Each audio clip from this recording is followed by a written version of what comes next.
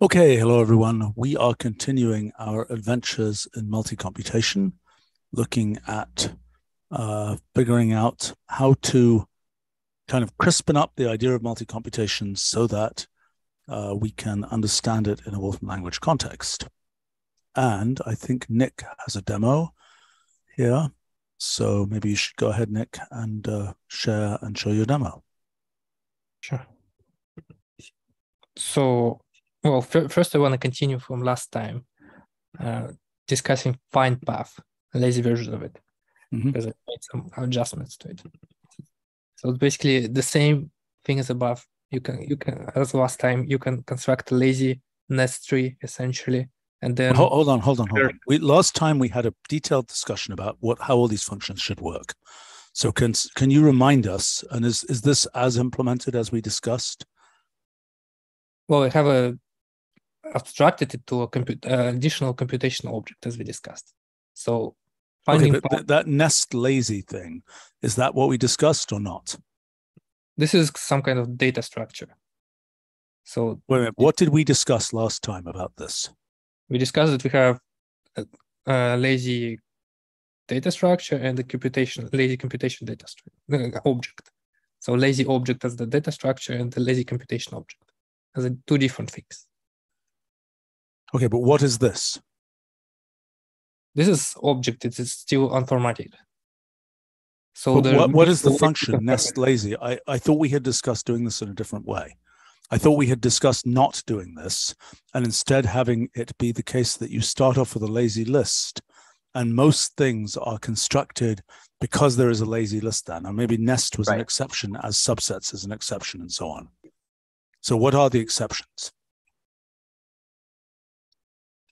Well, the question is, what are the initial constructors of lazy lists? Yeah, that's that right. That's what I'm asking. Yes. Well, initial well, we have lazy range, we have lazy subsets. Okay, but but this is what we discussed last time with some specificity. We need to kind of follow up on what we did last time and make sure we're not going backwards, right? So last time, can, can uh, Kristen, can you remind us, please, what what specifically did we conclude last time?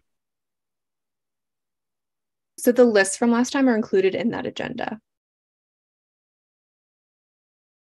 But but I think that we didn't. I mean, I, I I think that things like nest and range and so on, we we left those as separate functions. It was yes, I agree. Really, so it's lazy you know, range, lazy nest, right? Yeah. Is that correct? Except it wasn't nest lazy, it was lazy nest, was it not? Well, maybe lazy nest list because that's what that would, would generate an actual list. Okay, but, but, let's be specific because we, we, we're trying to actually nail this down. So we we because we don't want to just keep meeting and keep saying the same thing, so to speak. So let's, let's be specific. Let's look at last week's agenda. Lazy um, nest list was a potential lazy variant from last week. Okay, so which what are the other functions which were the potential lazy variants? Lazy range, lazy table, lazy array, lazy constant array, lazy tuples, lazy okay. subset. Okay, all right, all right, all right. So this is what we need implemented, Nick. I mean, and not something different, but was well, specifically what we had designed. There are a bunch of functions that are essentially just a lazy variants of list generation. I, I, know, I know, I know, but let's see those so that we can actually start writing code with them and see how well it works. Uh, okay, okay, we'll just skip this thing because I have. No, no. Maybe you want to. No, no, let's look at lazy find path now. Okay, so so you've got. I'll ignore the fact that, that we didn't get these things, but we really need these things. Okay, so this should have been lazy. What what is this? What would this be in our in our new list of constructors? Well, not not sure. It's kind of okay, but that's what we have to figure well, out. So, right? Sorry, what what is lazy find path? Is it like find path or is it something else? And then does it have an analog with non-lazy? It searches in a tree. It, it searches in this kind of tree, which is like a forest, maybe you can call it a forest because you have a list of trees and it searches a yeah, value. Let's be specific because last this time this is the nest. This is the lazy nest tree object, not the lazy list object. Or like, sorry, it's the lazy tree object instead of the lazy list object. And so this is an operation for finding paths and lazy tree objects. Say it again. I, I kind of lost. So okay, I, okay. I, I, just meant to say that, that I mean basically we have a bunch of operations like lazy range, lazy nest list, etc., which are for lazy lists. But yeah. it seems like this this uh, this here is an operation on a lazy tree, which is a different thing. And basically, it's just finding a path down the tree, right? Yeah, okay, this let, is let, nest lazy itself is a generating a tree. Lazy okay, but, but so this isn't what we discussed last time. Okay, so what we need to make sure of, and Kristen, you need to make sure of this, is that by next time we meet, we actually have implementations of the actual functions we discussed, right? Not different functions, but the actual functions we discussed, because then we're going to use those to actually try and write code and see how well it works. Right? We can't do it unless we, if, if it's just like, well, you could in principle write those functions, um, you know, that's one thing, but that's not what we want. What we want is to actually write them so we can actually use them. Am I making sense? I mean, we could write them right now. If we can't get them written any other way, I'll write them. I mean, you know, this is, we need to write these particular functions, not different functions, but these particular functions. Does Nick, does that make sense? Is there some problem? Well, I wrote some of them, just not all of them. Okay, but let's make sure we have all of them. What we discussed last time, I think, was to have a guide page, right? Did we? Did that get built, Kristen? We don't have a full guide page yet. No. Well, the, the you have even part of a guide page. We have the guide page that Nick has been creating with the Paclet. Okay, so Nick, Kristen, your responsibility for next time is to make sure we have a guide page that has all these functions listed and as many of them as possible actually implemented. Okay. Okay. Now, where is nest lazy, which isn't on that? What what was that in the discussion in the functions that we had defined last time? Was is this a new and different function that we had not defined last time, or is this a function we defined last time? We've seen it last last time. No, no, no. It, was it in the list of functions that we said we were going to implement last time? And if so, what was its name? No, it wasn't. So, well, I I think this was the one that we, I, I remember. Ian had a bunch of stuff where he was saying that that they for XML stuff they were also doing kind of lazy trees like this, and so it seemed like there were several different people doing lazy tree stuff like okay is, is ian with us here today yeah i'm here okay can you speak to that well so treefold originally had a lazy variant and we haven't tackled laziness directly in the project yet but we need it for things like file browser type explorers for trees and for streaming transformations right you discussed that last time, but treefold is not the only. So, I mean, are you imagining? Because because we talked before about streams and streams as a source of laziness, right? Yep. And so, are you imagining a treefold where the list that is in the treefold is a stream? Is that what you imagine?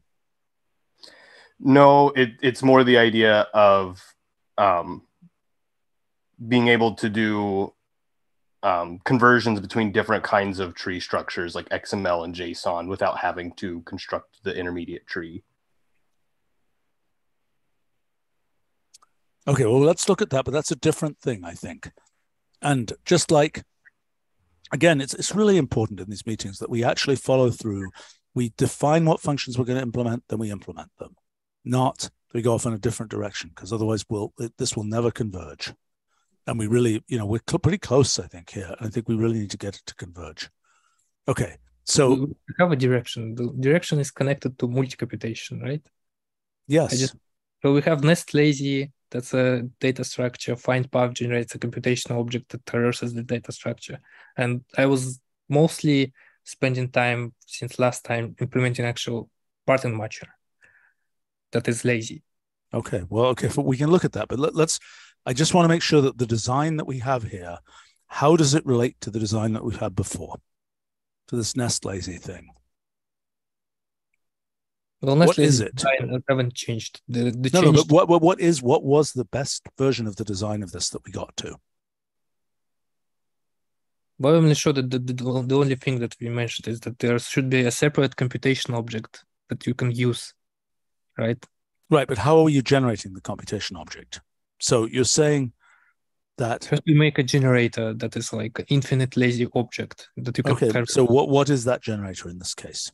In this case, it's generated by function. It's a nice lazy thing. It okay. so but let's decide what that function actually should be because that isn't the function. Right. So, is the last time this came up, the reason I brought up the, the Ian thing is the last time this came up, we started talking about different designs for constructors, but then it became clear that that that you know, at least with trees, that there was at least some tentative stuff that was going to happen at some point that was going to have its own constructors for this. And so then we sort of stopped talking about it. Okay, fine. But then this is ultimately, I don't understand this syntax at all, right? Because to me, if I read this, this is a nest. That the, this, you know, the non-lazy version of this is just a nest. And you're imagining there's an infinity in the third argument of the nest. Is that correct? Basically, yeah, it's a it's like a nest, nest tree. tree. It's, it's, a multi- tree, not nest. Multi-way generating thing. Okay, but, but hold on, hold on. What's the what's the non-lazy version of this? If I only go two levels, what's the non-lazy version? Is it nest tree? It's a nest tree. Okay, can you type it? Because uh, it would just be.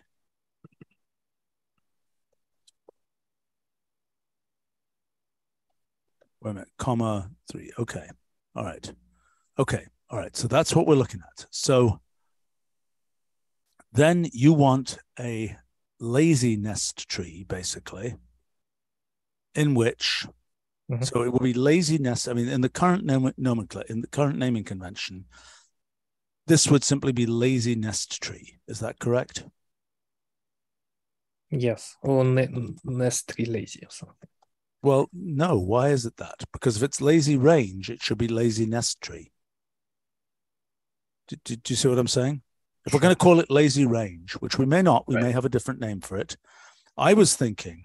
Technically, this is actually a collision of different naming conventions because the nest family is always nest and then the object it produces. So it could be nest lazy tree, but that's too bizarre.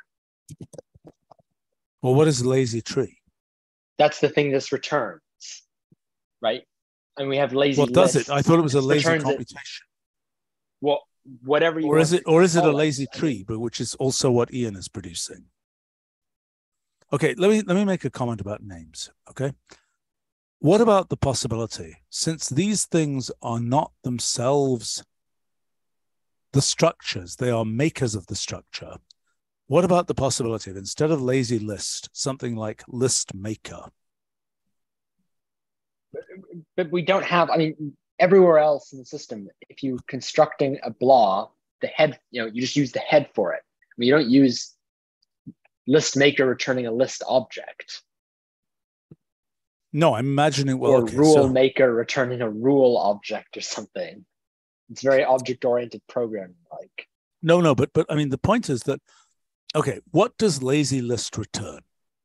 Uh, actually, lazy list. Sorry, what does lazy table return? Do you have a lazy table, Nick? Yeah, well, it returns uh, some kind of cons. But, but it returns a lazy list fundamentally. I mean, it doesn't matter what the implementation of the lazy list is, it returns a lazy list.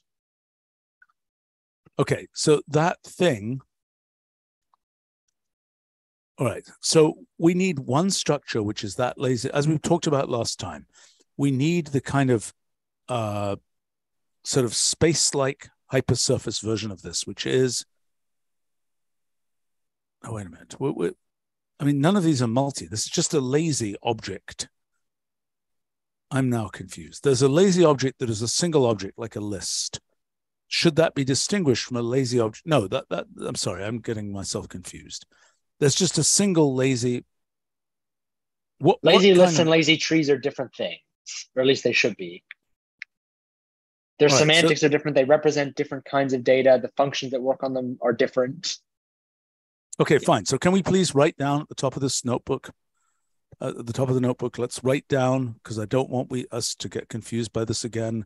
What are the actual objects we're dealing with? It's lazy list. As an object. Yes, as an object.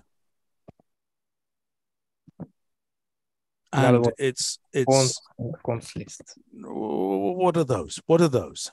No, what are those? Well, those are the actual constructors, not the generators that we use. The actual head of the. Well, I mean, but I think the idea is that I mean, I think you can internally it can do something like cons list, or it could do. I mean, again, there's stuff like when we had Leonid here, you know, the streaming stuff, or or whatever the implementation is. But the head of the the actual object that you see get returned should probably just be lazy list. inside of it, it can have a bunch of cons stuff. But yeah. Yeah, I mean that's nice, but it's not what we should have at the top level. So you should remove that. That's the infrastructure underneath the lazy list. So you can make a separate section there called infrastructure or something, a subsection of objects, which will probably not even be documented. And then there's the actual top level objects.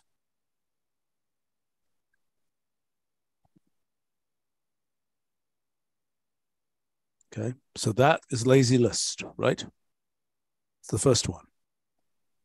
The next one is lazy tree, presumably.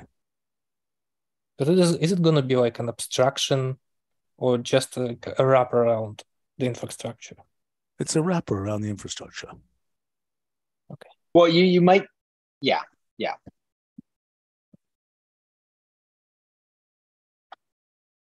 But as far as functions and users are concerned, they will see lazy list. They will not see what's inside it. Right. They might not know whether it's implemented with cons or with, for example, Leonid streaming stuff or however in the end it's implemented. Right. And it might be different in different cases. Okay, so there's lazy list, there's lazy tree. Is that correct? Yeah. Should we call it like lazy list? Because I have it like uh, just a converter, like a ordinary list to a lazy one. That that's fine. It can be a yeah, constructor and yeah. also be the thing that represents it. I mean, we have right. That's what it should be. Lazy list. Boom. It's, that's what it is. Until further notice, that's what it is. Right, and it is the. It can be the constructor. This this trivial constructor, and it can be the actual thing. Sure. Makes sense. But I mean, like there are things like, for example, here's a random example: is like Paclet object. If you say Paclet object of a string, it evaluates to Paclet object of an association, which is the actual Paclet object.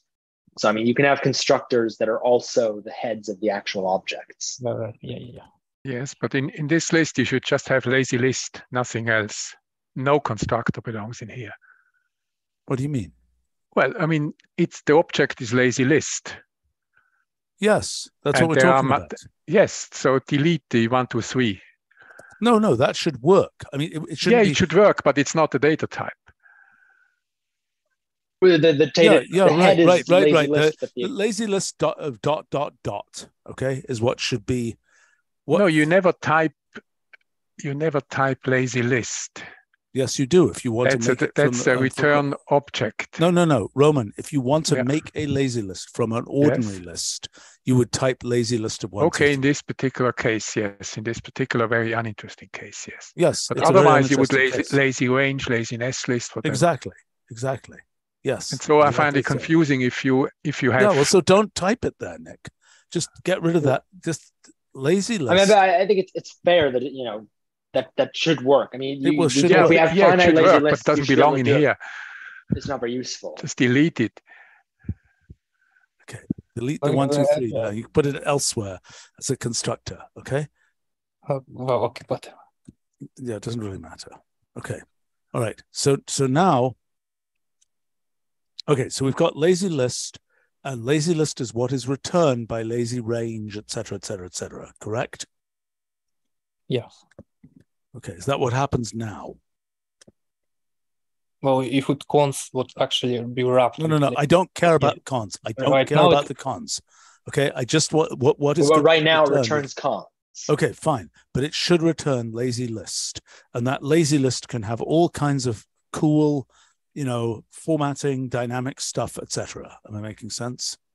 Yeah. yeah, I think that's an important point that lazy list wouldn't uh, force a single implementation. It would just contain yes, exactly. an object that satisfies a certain interface that knows how to do things, that knows how to format itself, and so on. And then we can, depending on the situation, have different different constructors return different flavors of lazy list exactly exactly.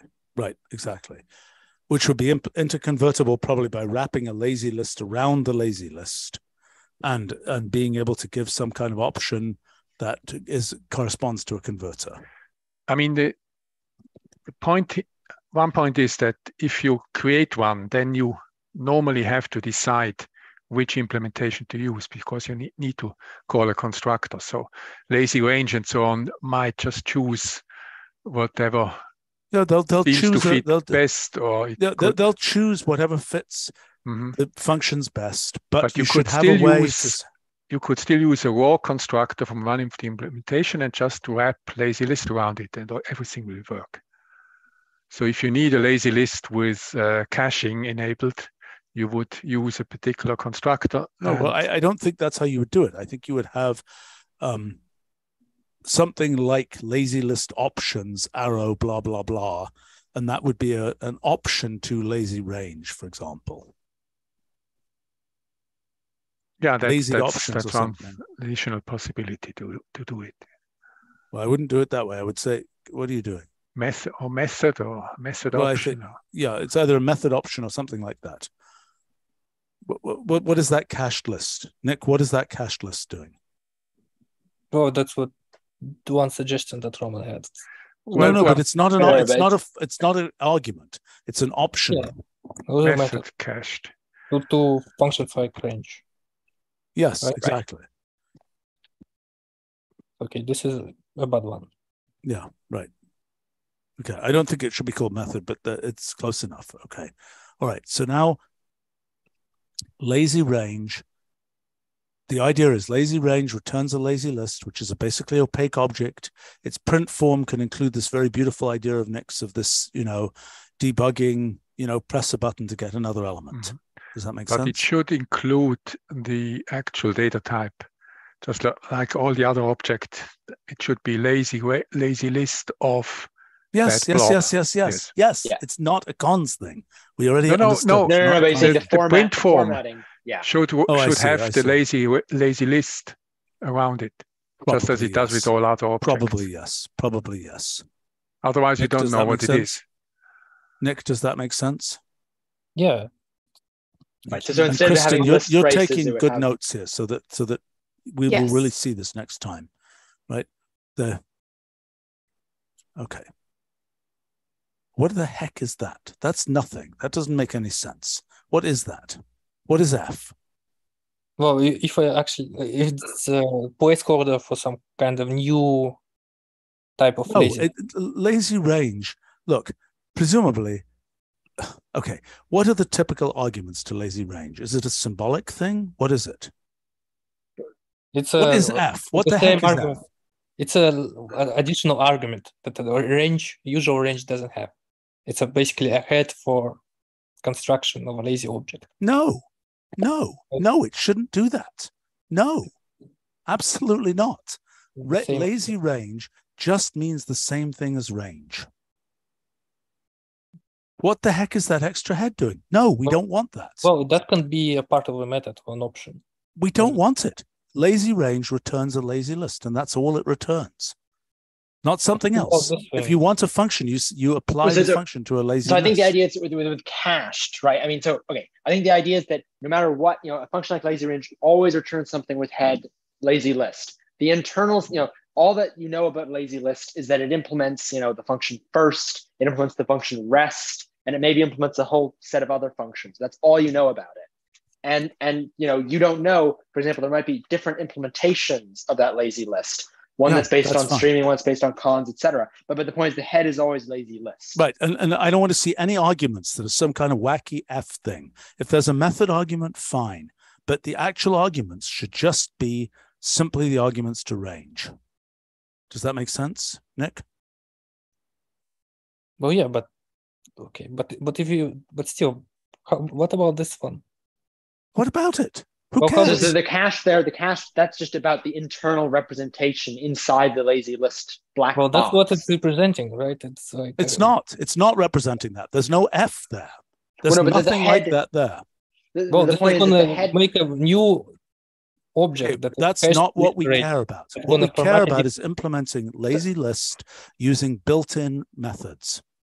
well, no, no, no, but, but hold, hold on. I mean, maybe just, just to explain it. So if you look at sparse array, actually, I'm not sure sparse array has this option, but it, it might have this option, right? Where maybe if you had a sparse array, you could tell it, do I want a row-based or like a row-oriented or a column-oriented sparse array, right? Yes. Or, or whatever it's yes, called. this this know. has some wacky thing which says make a sparse array there. That is wrong. Mm. That's the wrong way to do it. It's not what we want.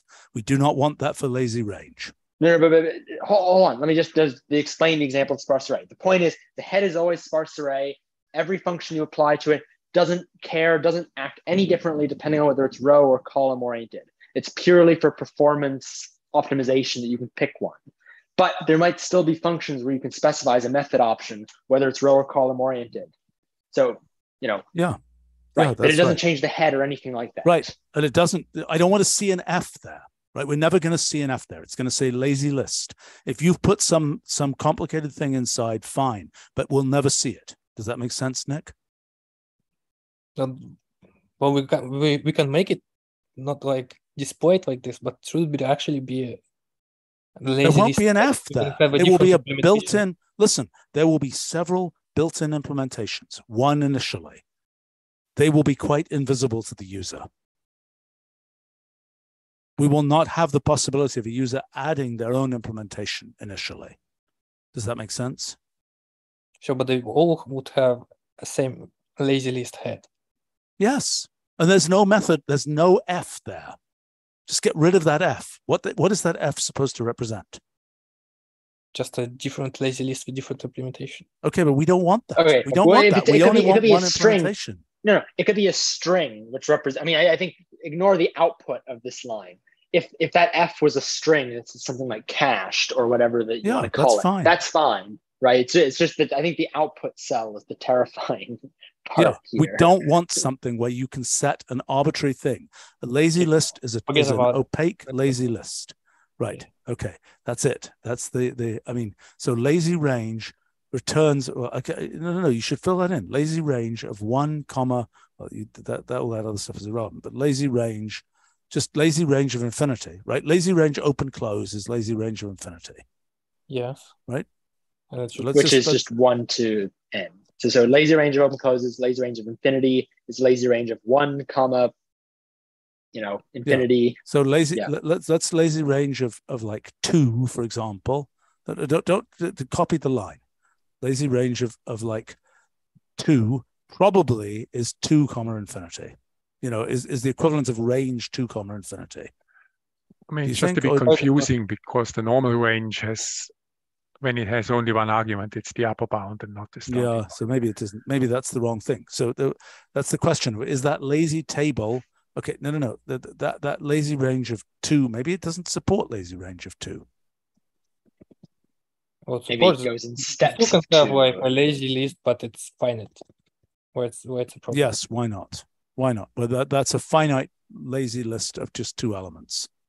Yeah. So it is the equivalent. So lazy range of two is the equivalent of lazy list of range of two. Could you write that, please? So range of two. And then lazy list of that. Lazy list of that. Lazy list of range of two. Okay. Right? which makes a rather uninteresting finite lazy list. Right. So, so as a as a as a maybe a principle, which I think we should do for for all these functions if we can. I mean, the arguments of range. The argument if okay, if range is defined on this set of arguments, lazy range should generate the analogous lazy list. So, so, you know, yes. yeah, yeah.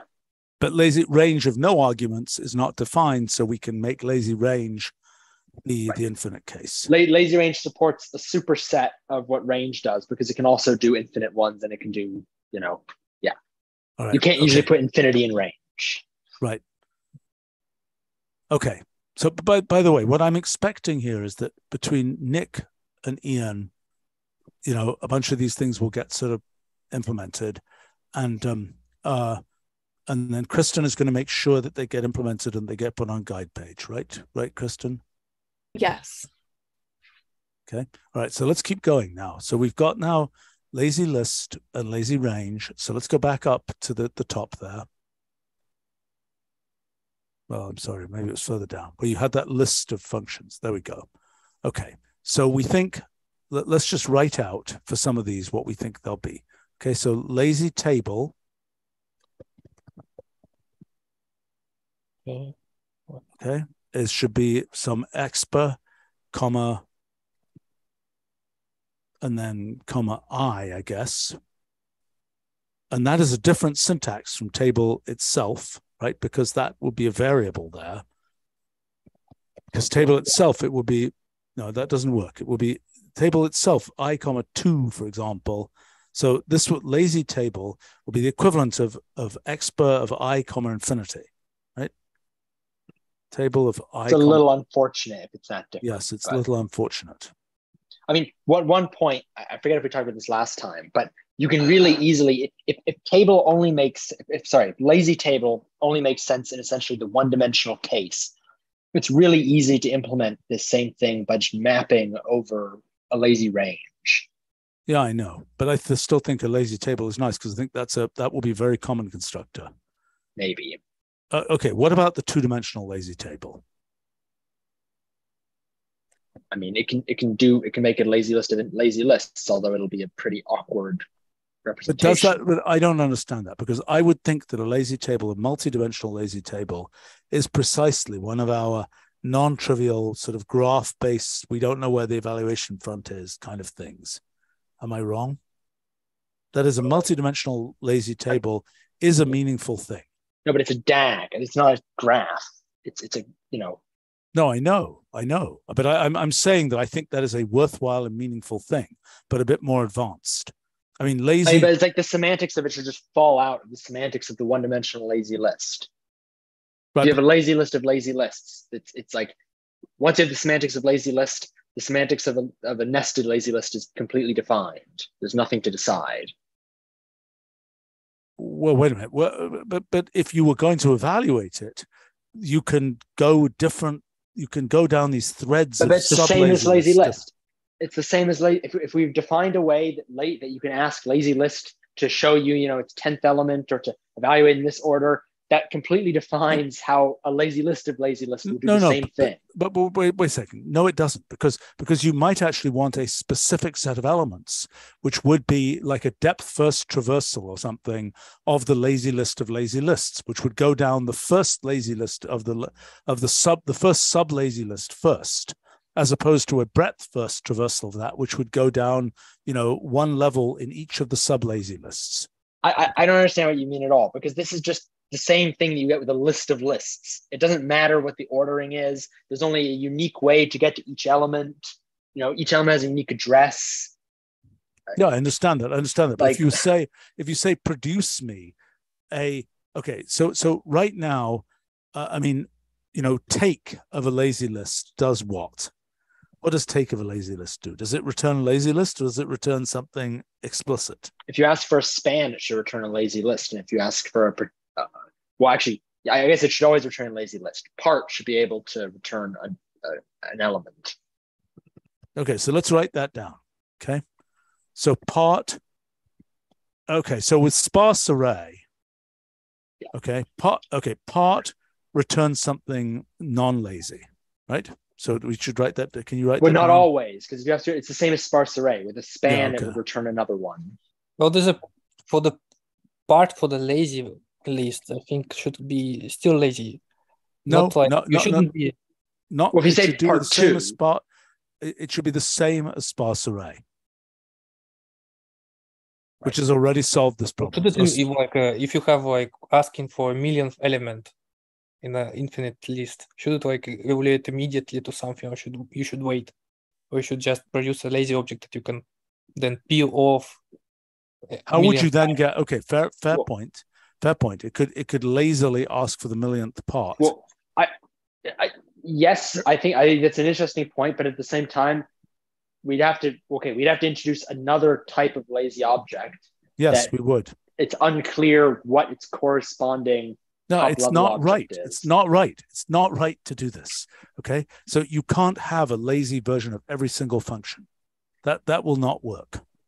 No, it's like this is how implemented currently. No, no. You, Why do you have lazy drop? It wasn't in the list of functions. It was not in our list of functions. We wanted a complete list of functions. It's not in it. Oh, I still need it. you, you, I, I okay, just... so then then add it to the list of functions. Kristen, do you have that guide page? That had the list of functions. I want to see the whole list of functions, not just, oh, I just thought of this other thing. Let's add a whole nother direction here. Okay.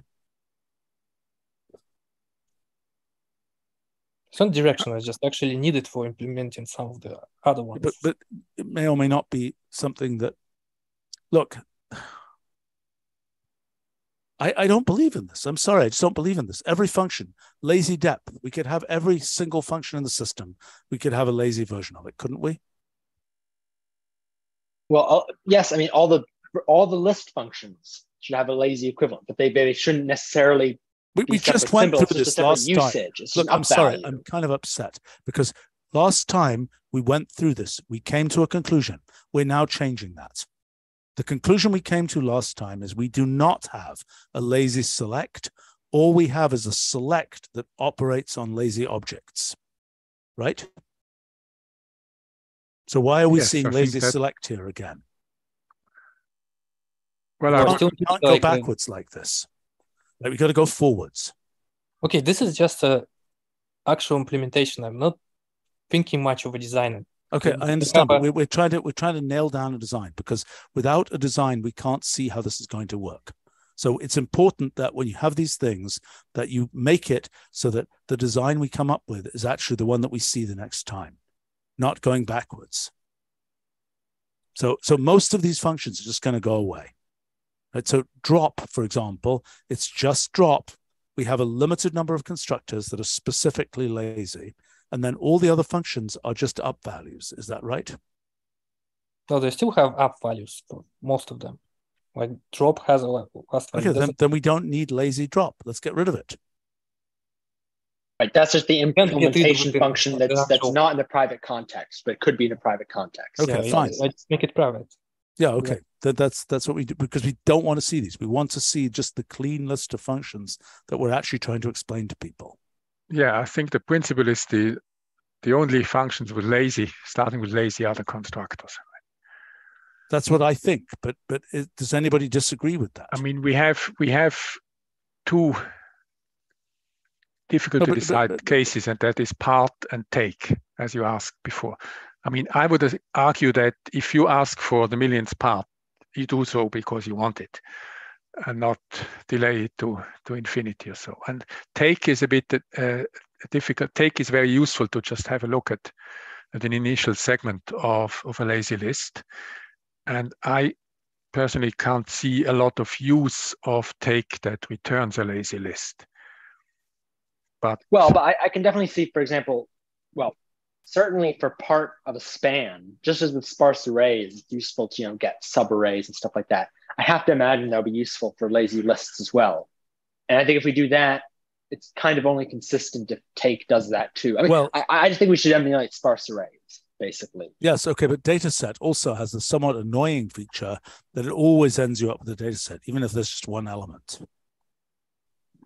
Right, but that's that's that's but that's because dataset represents so right. What did that just represents do? Any... Sorry, Nick, Nick, what did that just do? You did a sparse, a lazy range. Oh, it just doesn't work. What doesn't work? Well, I'm sorry. What doesn't work? That seemed to work just fine. What doesn't? The lazy range oh. three to five is. Oh, broken. Oh, okay. I see. I see. I see. I see. Okay, fine. Just incorrect. But, okay, but I was saying data set. Data set fundamentally, you know, is a representation of lists of associations or atoms. It can do all three of those. Okay. This only represents lists, so it doesn't represent atoms. Okay, fine. All right. So how would you easily get the first 10 elements of a lazy list? I think it would be normal of take of 10. Like Is normal of take easy enough. Why not just take? Uh, That's what we were just discussing, Nick. Well, I mean, right. I mean, I, am advocating that you have to say normal. No, no, no because. But, right. So the question, Nick, is whether that returns the normal thing or not. Right. Let's initially implement it without Let's initially implement it so that you have to say normal, and let's find out how annoying it is. I'm pretty sure it's going to be annoying. okay, well, fine. Just implement it so that you have to say normal, and we'll decide that that's a bad thing. But we can't tell anything until we've got it implemented in the design that we have, right? Now, what about part? I mean, the, the original idea for part was just to be uh, element access, right? The tenth part or so.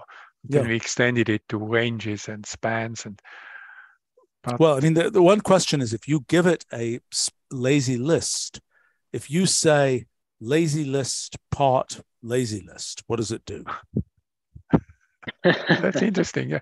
Well, let, let's let's solve the, the easy case first. Uh, I would argue that part at least shouldn't shouldn't should not return a lazy list. Actually, lazy list, comma lazy list, I think is well defined because it's the same as mapping. Yeah, I think so too. You know, yeah, it is. It, yeah, it's a bit funky, but yeah. Okay, all right, fine. But that's what we have There's to no actually implement that, that this explicitly, Roman. That's why we have to mm-hmm. implement this explicitly because we're never going to see these things until we've actually got something where we can write code with a lot of extra hair on it. Fair?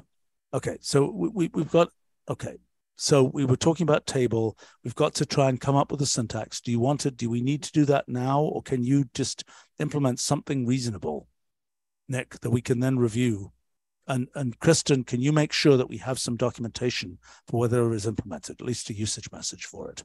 Yes. Okay. And then we'll go through those and see whether it actually made sense. But I think Nick should try and think them through and come up with what he thinks is the right way thing to do, and then let's look at them. Does that sound reasonable, Nick? Yeah. Well, what about this part? Which part? But it's like having this unwrappable one by one object. Yes, I said I think that's nice. But as we've said four times or something here, we want the outer in the print form. It should say lazy list, open bracket, this and then it can have some. Yep. I'm sorry? The point is that this is not a list. What until is it? Uh, until un, until you unwrap it. No, but that's wrong. Okay, what we keep on saying is the head of the object returned is lazy list. Wait, no, no, sorry. This is a different. This is a different point. So let, let me understand, Nick, what you just said. So basically, this is okay. When you have a cons list, you know, if you want to get, if you want to drop the first 100,000 elements, you actually have to iterate it 100,000 times, you know, yeah. to, to get the next one, right? And so the point is that this drop here did not iterate it 100,000 times. So when you actually call normal on this, it's going to have to iterate it. Effectively, what that did is it replaced the first 100,000 elements with nothing the, the symbol nothing as opposed to actually iterating it 100,000 times. Because this, this matters though, because for example, if this was, you know, if that lazy range was instead the list of Fibonacci numbers, and it would take it a long time to iterate 100,000 times. But you run drop on it and it would sit there. Hold on. There's anyway. a much more basic point. Normal of lazy range open close. Right? What does it do? Try it right now. Normal. Infinite loops. Of lazy range open close. It's going to recursion limit. It's going to hang. Okay. If I, and if I abort it, it's just gonna return whatever it generated so far. Oh gosh, that's that's, that's interesting. terrifying. that's interesting, but okay, this is wrong. It should not do what it just did without messages and things like that.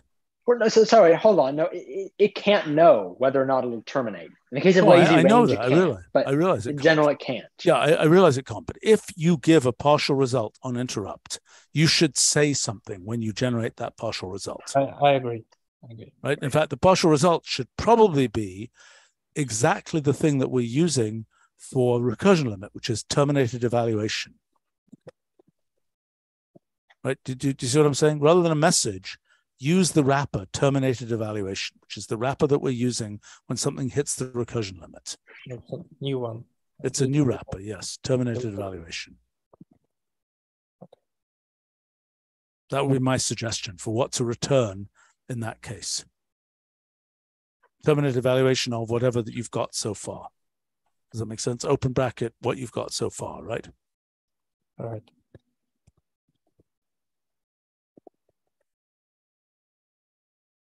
Okay, but I mean, this thing that's just going to, you know, okay. So now the question is that drop of lazy range. So what is that thing that's coming back? It's another lazy list. No, but is lazy, it a lazy list? It's a it's a delayed lazy. No, no, no, no, no, no. We don't get another function. There's no f- new function called lazy. We don't have that. We've got a fixed list of functions, and that's what we're using. Oh, well, right? well, we'll just solve this problem.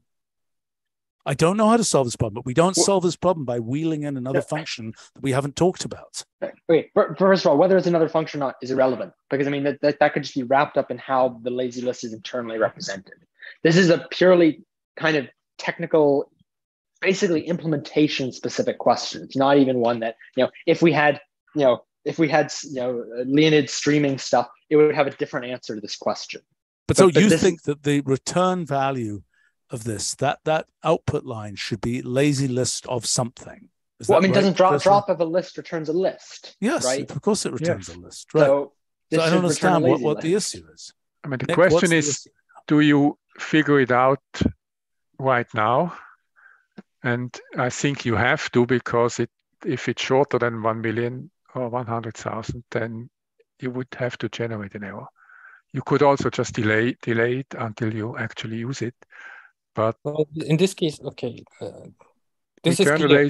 drop should should generate a list. But what about other functions that return something else than a list? I, I, well, uh, I, I think actually just to respond to Roman, I'm not sure to return a message. I like I understand why. I mean, right, the natural implementation of this, it is much more natural if drop is quote unquote a little bit eager in that it'll actually, you know, it'll fail if, for example, there aren't 100,000 elements or something yes, like that's, that. that's what I think. Right. But, but I think in terms of the semantics of it, I do think it's probably preferable, even if the internals aren't as elegant in this case, if it does, if it's, if it really is lazy and doesn't do anything when you first run drop. Okay. I've got a more argue. basic question. F of lazy range, open close. Just F of that. And if you, unless you've defined your F in some crazy way before. Okay. Uh, the question is, what is this? It's just, just uh, what? It's F of lazy range. It's not range. listable. It's not only, listable. Yeah. So, okay. So then, then, then this is okay. Right. So it does nothing. So it doesn't go inside. So I see. Yeah, only like, a listable like, function. But the result of lazy fold is another one. I mean, that that should just be a single expression. And if the lazy range is infinite, then there will be no result. Right. So the question is, what does that return? Because it can't return a lazy list because the lazy list isn't. It isn't. No, it's list. one of those functions that consumes the whole input. And okay, so, so, just like normal, function? just right. like normal, it will have to wait until it has done its thing. Okay, so that was the thing that Nick was calling there something like lazy. But what's the relationship between that and um I mean, perhaps there's a concept of lazy value. Yeah, that's that's what I'm trying to explain. Right, I, like this is not returning a lazy list, right? But it's still yeah, okay. So fine. So I'm suggesting right, the function name be lazy value. No, but I think I think Roman made this point earlier, which is sort of that. I mean, first of all, I don't see many situations where you're going to ask for this value where you don't just want the value. Like we're, we're shouldn't just get to the point and give it to you because you're. I know, but gonna... what if it can't? What if it can't? If the laser, oh, I see. You're you're saying. I mean, when are you going to act? Act. When are you going to get this thing and then not run normal on it? There's nothing you can do to it other than run normal on it. Eventually. Well, you can drop it. It can be a part of some like lazy object itself that you don't care about. But but, but I mean, like if you and don't do it in the first place, right? Well, I mean, right. Like if you generate a list of ten thousand of these, and maybe I only care about the hundredth or something like that, it's sort of like uh, and, and the point is okay i can i only have to run normal on the 100th one but it's sort of uh, it, it, seems better if you can just like roman said not generate the list of the thousand no well, i don't so think the, it's, it's, it's still it's like it's for programmer for programming convenience you should care less about actual numbers where you do care and don't care about things that you want to drop you just okay, generate so, things uh, but how does this what does how, what can you do to this thing, to this lazy value? Well, this is. I think that this lazy value, guys, guys, look, okay, look. A simple case is total of lazy range, open close. Okay. I mean, yes, it's the same as this as, as the fold. I mean, except that there is a value you can give. It's infinity. No, it's not. You, you definitely cannot that. do that. Why? No, what if in I that particular case. From, no, no, no. What if I have a range that's one minus one, two minus two, three minus? I mean, among other things, like no, no. But but this particular case, total of lazy range is infinity. Yeah, that is hopeless to do in general. No, I understand. I mean, obviously hopeless. But wait, wait. Okay. Nick, well, these, this these proliferation are... of random functions is just not going to make it. Okay. I mean, okay, there are interesting ideas here. Okay. So, for example, this lazy clone thing is like a representation of a non-terminating computation, right? It's just like one representation is it is re- a repeating non-terminating computation. Is that correct? Well, yeah. But the name clone is kind of strange. It's very strange and it's wrong. But I mean, the. I mean, it, it's something like uh, repeated. I mean, it's it's infinite concatenation, isn't it? It is. Well, the, the name clone comes from just it's a Haskell equivalent. Yes, but I mean, in, in our context, cloning yeah, uh, mutable object means to make a copy of, of a mutable object. And yeah, it's not the right thing. It's just not the right thing. So, I mean, but the main point here is just conceptually, this thing is an example of an infinite structure that has a fairly simple form, just as an infinite binary tree is an infinite structure with a fairly simple form. Am I making yeah, sense? A totally different infinite structure with a different form. No, I, I know that, but I'm saying that there are a limited number of constructors of of simple infinite structures. No, uh, the, the more important point is that there's a limited number of the more important point is that we have a limited number of structures in our language where we have existing functions for managing them. We can manage tree shaped things, list shaped things, you know, graph shaped things, whatever, nearest function shaped things. And, and if you can find some lazy equivalent to any of those forms, you can make a lazy version of it. But we shouldn't say, like, oh, well, you know, we could have some object that represents, you know, a hypergraph. We don't right now, but we could have one. So let's make a lazy hypergraph and we'll have to invent a whole set of functions for manipulating it yeah, instead yeah. of just making up values for existing ones. Right. That's what we want to avoid. Exactly. But I'm and, saying and we should be very think... clear that, that each of these lazy blank objects represents one thing.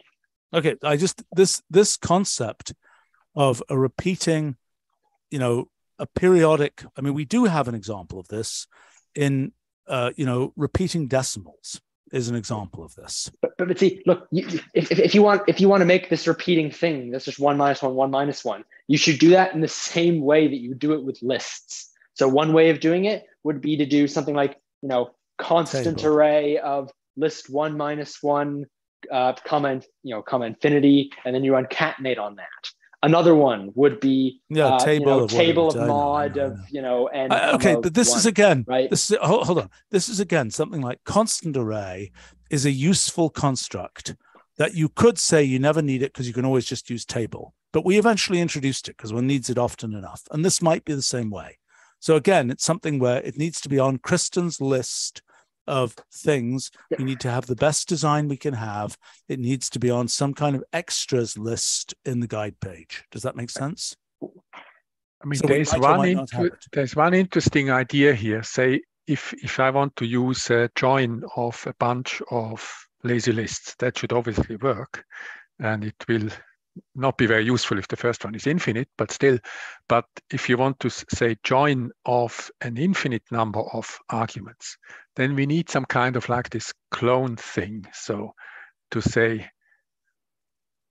use a lazy list or anything else as the independent arguments of another function. That would probably be a bit esoteric, but might be useful. No, I'm telling you, the case that's interesting is Right now, we are used to finite terminating computations. Okay, that's what our language primarily deals with. What we are walking into here is infinite non terminating computations, beginning with non terminating data structures, infinite data structures. Am I making sense? Right. Except you, you phrase this very generally. But the nice thing ah. about a case like this is that it is extremely well defined when things evaluate, where they evaluate, yeah. etc. I, I so just really um, kind of do thing. not like seeing these other random functions like lazy eval is yet another random function. We've really got to cut this down. Okay, that's why I wanted last time I asked for us to produce a guide page, which we didn't do. We need to do that now. Okay, or Kristen, did you in fact produce part of a guide page? If so, let's see it. No, the guide page I have is Nick's guide page currently. I'll make a separate one with these. Well, okay, but, but Nick, do you have meeting. a complete guide page for everything that you've implemented here? Um, I don't think it's complete. Okay, but it's really important that we not just have these random extra functions that suddenly show up.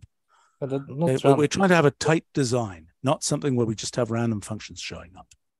should be designed done after the actual implementation is done. No, no, it well, should be done before the implementation, as much as possible. Because we'll never I think, understand. I think often if the implementation comes entirely first, then then you realize that all of a sudden the design actually, you know, totally changes the semantics of what you thought you were going to make, and then and then the implementation is wrong. Well, right now, look at the those all those random functions, just private functions. Okay, I just use it for right. Okay, fine, but then then tell us what the public functions are, and that's what we should look at. Okay. Oh well. Uh, not right now. I mean, let's make this list systematically. What does this lazy eval thing do? It's the equivalent of take, right? No, it not doesn't actually take anything. It's the same as clicking this thing ten times. I see. So it's, it's like lazy. Uh, it's a formatting thing. Lazy form. Not a formatting. It actually uh, expands. You put echo, you know, right? If, if, if, if it was, yeah. Like instead of this thing having some kind of lazy generator doesn't have all of the numbers generated yet. It generates a bunch of them explicitly. And I understand, but this is a caching play. I mean, this is basically saying in, in any actual function that I apply to this object will be the same whether or not I have done a lazy eval, right? Yeah, yeah. Gonna... Behavior should be the same. Right. Behavior... Any any computational function applied to that object will not be affected by whether a lazy eval was applied to the object. Right. Right. So the lazy eval is a print form, basically, affects the print form. Right? And well, yeah, and some caching. And, and caching, which is not what we're caring about right now. Mm. Right? I mean, the caching stuff is, you know, the the hacking of the cache, which might not even be possible if this was streaming or whatever else, is a completely separate issue, which can be achieved by doing something like, you know, wrapping a lazy list with another cache descriptor But I mean, so I suspect this is something which is more like a print form, like lazy form or something. I don't know. I'm not sure. Anyway, okay, let's keep going here. So, so you had you had, I mean, the, the really important thing is let's see what the actual proposed exposed functions are. Okay. The, uh, okay. Now you've got lazy find path, which we don't understand at all because that depends on lazy tree. Correct. Correct. Okay, so lazy tree is an is another lazy constructed thing, correct? Like correct. lazy list. It is a it is a core lazy data structure, correct? Correct. And in addition to this, we might have a lazy graph. Although that is more complicated in its semantics. Yeah, I'm not sure about that. Well, we're going to need something like lazy graph but exactly how it works and whether it's a DAG and how it is not clear. But I only understand like the lazy expression. So because it, and everything is expression in the Wolfram language, so we can make a lazy expression, and if it's a graph, then it can be made to, made into a graph. I well, think graph is a more special case. Yeah, and also I think lazy expressions. We should probably not launch the lazy expressions right now, but I think that's the problem with lazy expressions is that what's the API for it? And the answer is probably just everything. It has some up value so that basically anything you apply to it, other than say normal, just gets sort of eaten up by it. Maybe a little bit like how multi does this. Um, but I think that's a very weird and, and impossible to use thing if it existed. Right. Okay, so let's keep going here. So so we've got uh so lazy tree is constructed how? Like, for example, this is one of the. Okay. What other constructors are there? Uh, well, well, nest lazy kind of. It's the same thing. Well, I don't understand it. I don't understand it. Can, can we can we decide, say what less nest lazy would actually well, be? Is experimental thing. I understand, but let's talk about what it would actually be right? Not not what you implemented it as, but what what a plausible design for an actual thing like that is. It's a it's basically a multi-way, lazy multi-way generator, something like that, right now. Right? It's supposed to be mimic the arguments for when we are generating all the multi-way graphs and things like that. So it's a function, yeah, I understand. a list of rules and a list of initial conditions instead of having an explicit number of steps. You just not don't have it anymore. It's just infinite in general. Right. I don't think the name is right. Well, did we yeah. did we come up with a better name last time? I don't think so. But my plan was. What, Kristen, what name did we come up with for this last time? I don't recall a specific name. I was going to implement something like that with the same thing for the list of rules and just using the down values and generating the same kind of structure. Okay, what we discussed last time, remember what we discussed last time? Three cases function application, replacement rules, and down value evaluation, right? Those are the three cases in which we're constructing, we're, we're creating structures that are essentially, uh, you know, lazy slash multi type structures, right? Remember that? Yep. Okay, so those are the th- three things that we need functions to implement. Right. Right. So, what That's are those functions? What are the well, proposed functions there? Because these aren't these are not there. No, but they're not. This is not those functions. We've got three things we need to have functions well, for. We haven't come up with actual name, but okay, we need actual names because we need those are the specific functions we need to implement, not something different, but those specific ones. Okay. Right. Those specific functions. So I don't know what their names should be, but we need to decide and then implement those specific functions. Well, we can use something with multi-way. That will be okay. So I mean, it's it's multi multi-way replace, multi-way, yeah, multi-way nest, multi-way replace, and multi-way evaluate. Yes.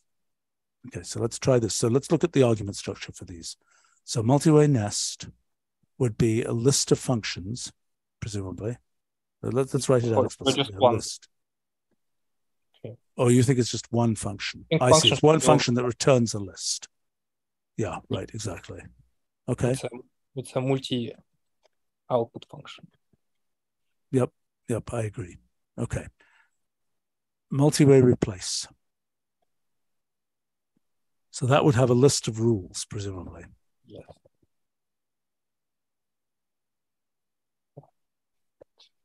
And these rules would have uh, Yeah, right. So inits is always a list of inits. Yeah. Okay, multi-way evaluate. Expression. I think nothing else. That's it. Yep. Right. I agree with you.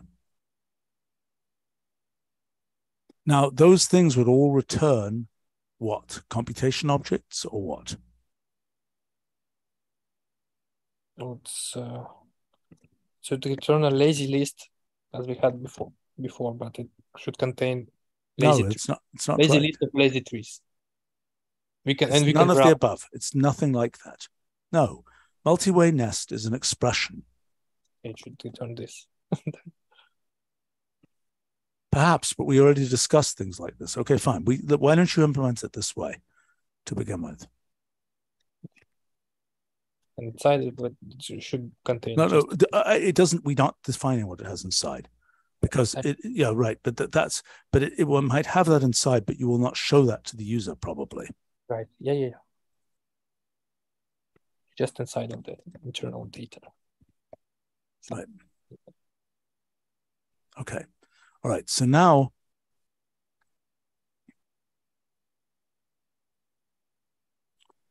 okay all right so multi-way nest then okay so then we have I'm, I'm still a little bit confused. From the multi-way object, if you get a single slice of the multi-way object that came out of multi-way nest, you will get a multi from that. Is that correct? Like if you have the breadth first, you know, three steps of breadth first evaluation of the multi-way object. Or we just get another multi-way object. You just can slice it and you get another one. Doesn't matter. Okay, what is the uh, slicing function? So the slicing function is some kind of, you know, It's a list. It's a basically extract. How how would you? Yes, but I, I understand that, but it's a more complicated thing because it has to be a multi-way version of that. Do, do you understand what I'm saying? Because it's got to define what to do on every multi-way branch. It's exactly the thing we've been talking about many times here about oh, traversal mean, orders, etc., etc., etc. Sure, but I mean, I mean, if you already decided that, and you have a list of positions in this uh, infinite lazy list, lazy list of trees, and you have a list of positions, even this list of positions can be itself infinite. You can use an extract of the multi-way object, and it would generate a new multi-way object. I understand, but what I'm saying is, let's say you want the fifth breadth first, you know, cosmological rest frame slice of the multi-way object. How do you get it explicitly? Well, I guess there should be some kind of traverse function that takes a multi-way object like this. You maybe it's some kind of traversal order option for it, like depth first, right? And it should generate as lazy list. It's basically a path of values. And well, okay, there are two different things we want here. There are two things we want. Okay, one is a total order. So you should write this down. One thing you might want is a total order from that multi-way object. And that's what you're describing here. So if the multi-way object was in fact a tree, the total order will be defined by a traversal, by a tree traversal order, right? Ian, can you confirm that? Yep. Okay. The other thing you might want, which is relevant for many of our scientific applications, is a partial order. Making sense? And that's where you have a foliation and you have, uh, you know, you have, um, um, uh, what are they called? Um, anti-chains, right? Partial order, you say paren anti-chains. Right? Did, did you see what I'm saying? I understand, but what what how do we should extract it actually? That's what we've been talking about many times before, right? We, we've been discussing that over and over again. We know we need a domain specific language to specify partial orders, right? And we have certain reference frames that will be named reference frames. So in the case of total order, okay, the total order we've already got that domain specific language which Ian has defined for trees. Right, in. Right. We basically have depth first and then breadth first, starting from all of the roots or from all of the leaves. Right, but you're defining a total order there. So we don't have quite the definition of partial orders, which is going to look a lot like reference frames and and you know relativity and so on because it's going to be, you know, we can imagine a boosted frame, for example, a rest frame, a, a cosmological rest frame, a boosted frame, etc. Does that make sense to people? It's a little bit confusing because it, it suggests a causal graph if you're talking about it, but we're not even discussing causality of any of hmm. those. Well, are we not discussing causality? Doesn't every one of those functions, multi-way nest, multi-way replace, and so on, doesn't that define a causal set of causal relationships? Well, it can define it, but in general, if you not specify what actually like been created and destroyed, for example, you can do it.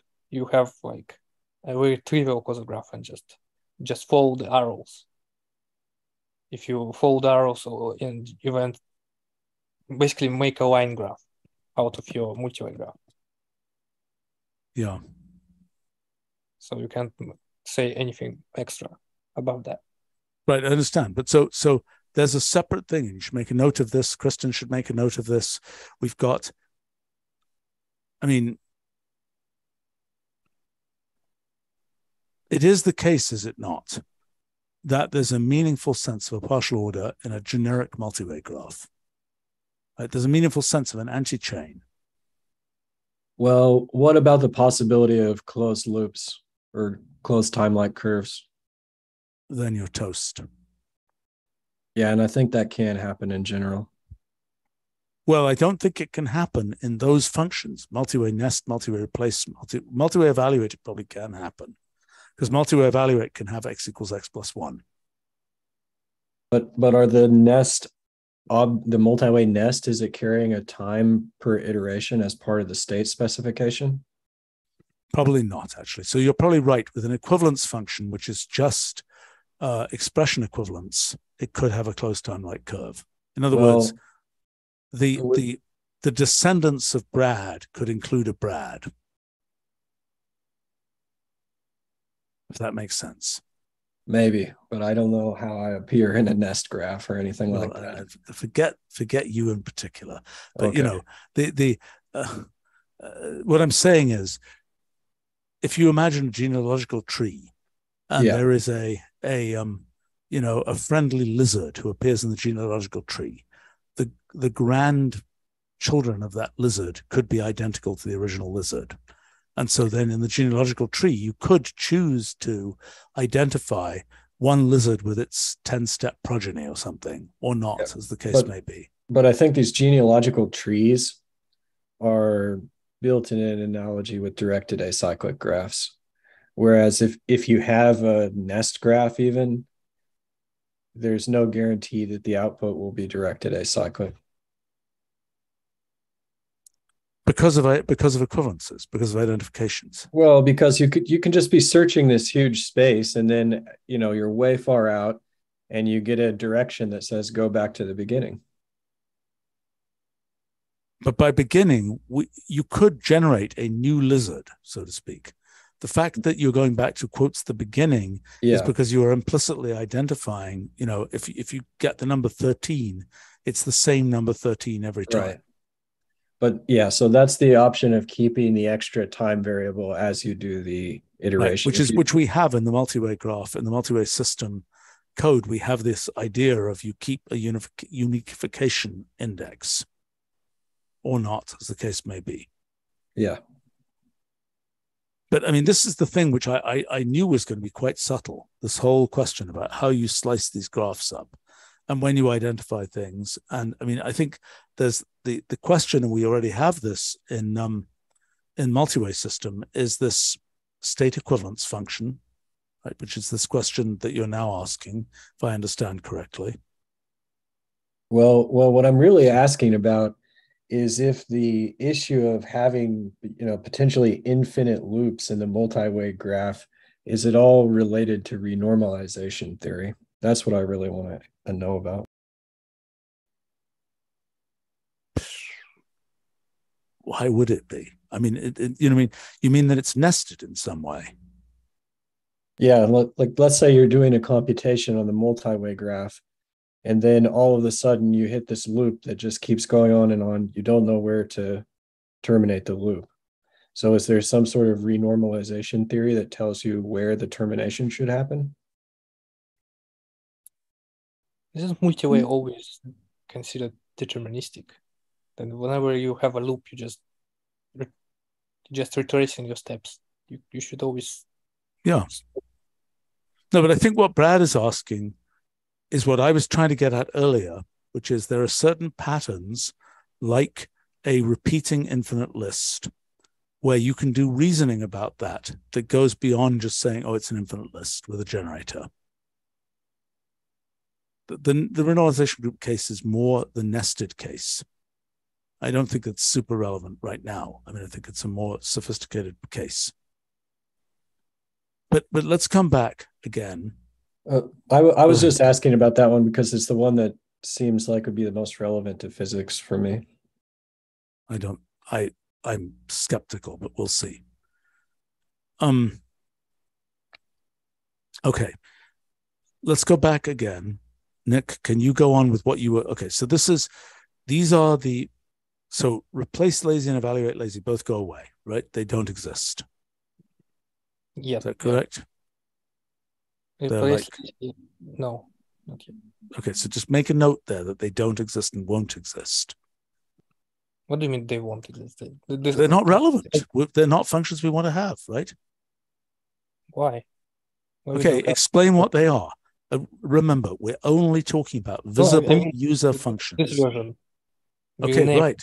Okay, so so note down that that is not a function. I don't want to see next week that we have you know replace lazy shows up as a function because we're not going to want to see that. Replace lazy has turned into. Yeah. Okay. Right. Okay. But the, but make a note that that's what replace lazy becomes. That's lazy becomes this. Okay. All right. Fine. Okay.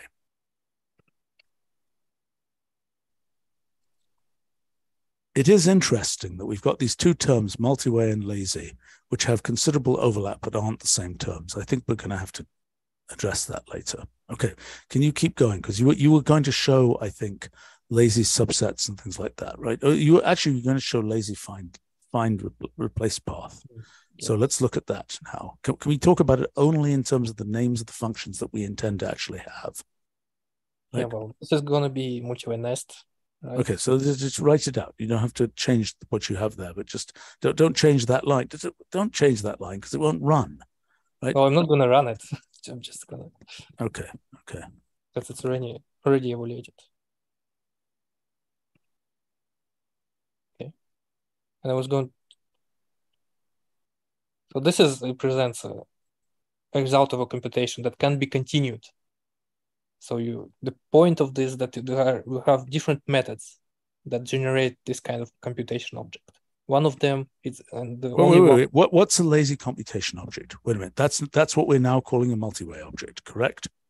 No, no, no. That that's what we talked about last time. That we have a separate computation object that works with lazy data structures and multi-way objects like this, right? Okay, fine. All right. They okay. have like different methods. They find they do different things. They search for one value or do some slices, whatever.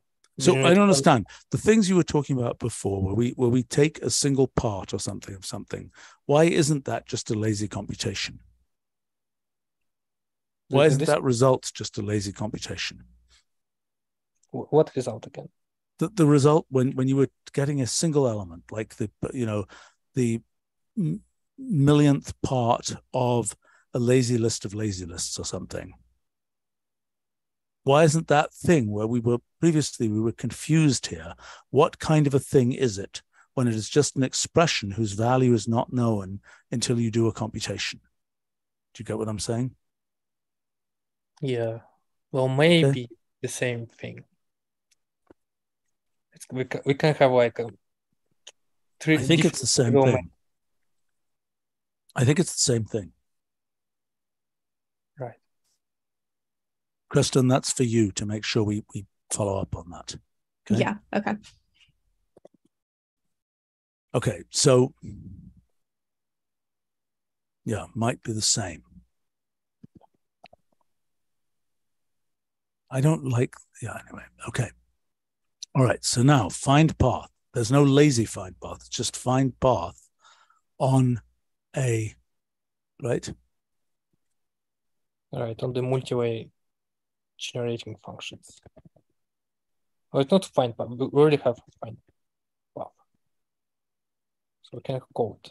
No, no. Why can't we call it find path? Why, why isn't the G in there? What, what is it doing exactly? Well, this just searches for a particular value. Okay, but it, the path is going to be a proof of that value, basically correct? In yeah, in a sense. So it's, well, actually, the full proof is not only the path, but is not only the sequence of states reached, but the transitions used to get from one state to the next, right? Well, the path the path is the transition. So you basically describe the turn where you go left and right in order to reach the value that you're looking for. Yeah, I know, but you have to say what, what I'm saying is the representation of that path, which is what we were doing in the theorem prover, is I think is both what trans you know in the theorem prover it is you know some substitution function where you take the lemma you're using applied to the lemma you're applying it to to produce a single result and so here i think what you want is one and then an arrow, and that arrow is labeled with some transformation f goes to one, let's say another an arrow labeled with G goes to three, etc. Do you see what I'm saying? No, I, I've lost you. Okay.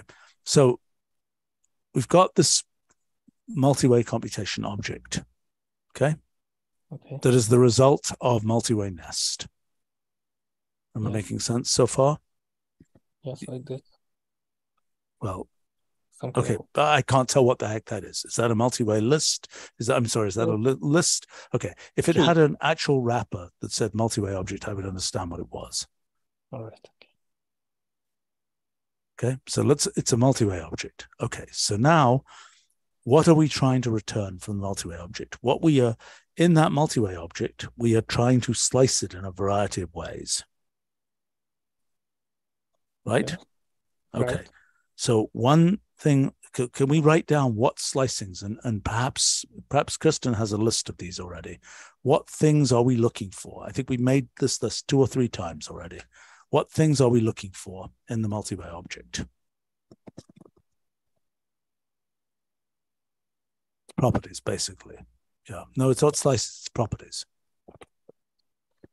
Okay. So so I think these are the things which are essentially the functions that are in the multi-way system function. Okay, there, there are many, many different things. There are things like, you know, just like how many states do you get in a breadth first, you know, traversal would be an example of something. Yeah, there are many things. Branchial Some kind of graphs. Yeah, you could just look it up in multi-way system. It's a big long list. Okay, so we have to Oh, there's no counting there. Yes, there is a multi-way. Yes, there is. There's, a way of just counting the number of in in multi-way system because its default is to just go in the cosmological rest frame, so to speak, to just go, you know, or breadth first traversal. It can just count the number of independent elements at each level in the breadth first traversal. Breadth Oh, first Okay. computation. Okay. So you specify basically a number of levels. Yeah. Yeah. Right. But that's but that's also count a different. sorry. What? You can count a different with di- different traversal order if you want. Right, right. But the point is, the point is, what we given the multi-way object, right? We have certain access or functions or properties that extract various useful things from that multi-way object. No, there's not much. you, you're saying that there's like a But there's tons of stuff. Go, pull up the pull up the multi-way system documentation from the function repository. well, they're mostly related to like rules, events, right? They're not inherently like Why don't you pull it up? I think it's longer longer list than you think, because it's also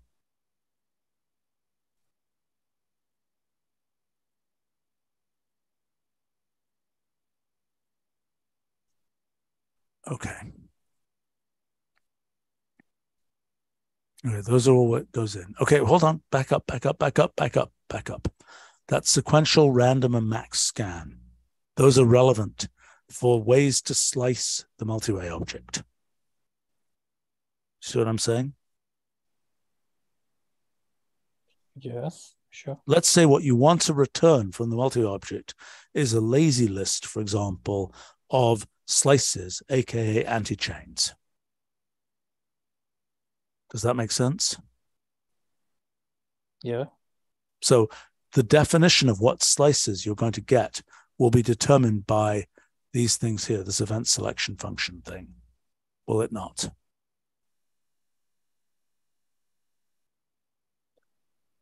In a sense, yeah, right. In a sense, Yep. Right. So that's that's the impoverished domain specific language for foliations for this in multi-way system, right? right? Okay, so let's go, scroll down a bit here.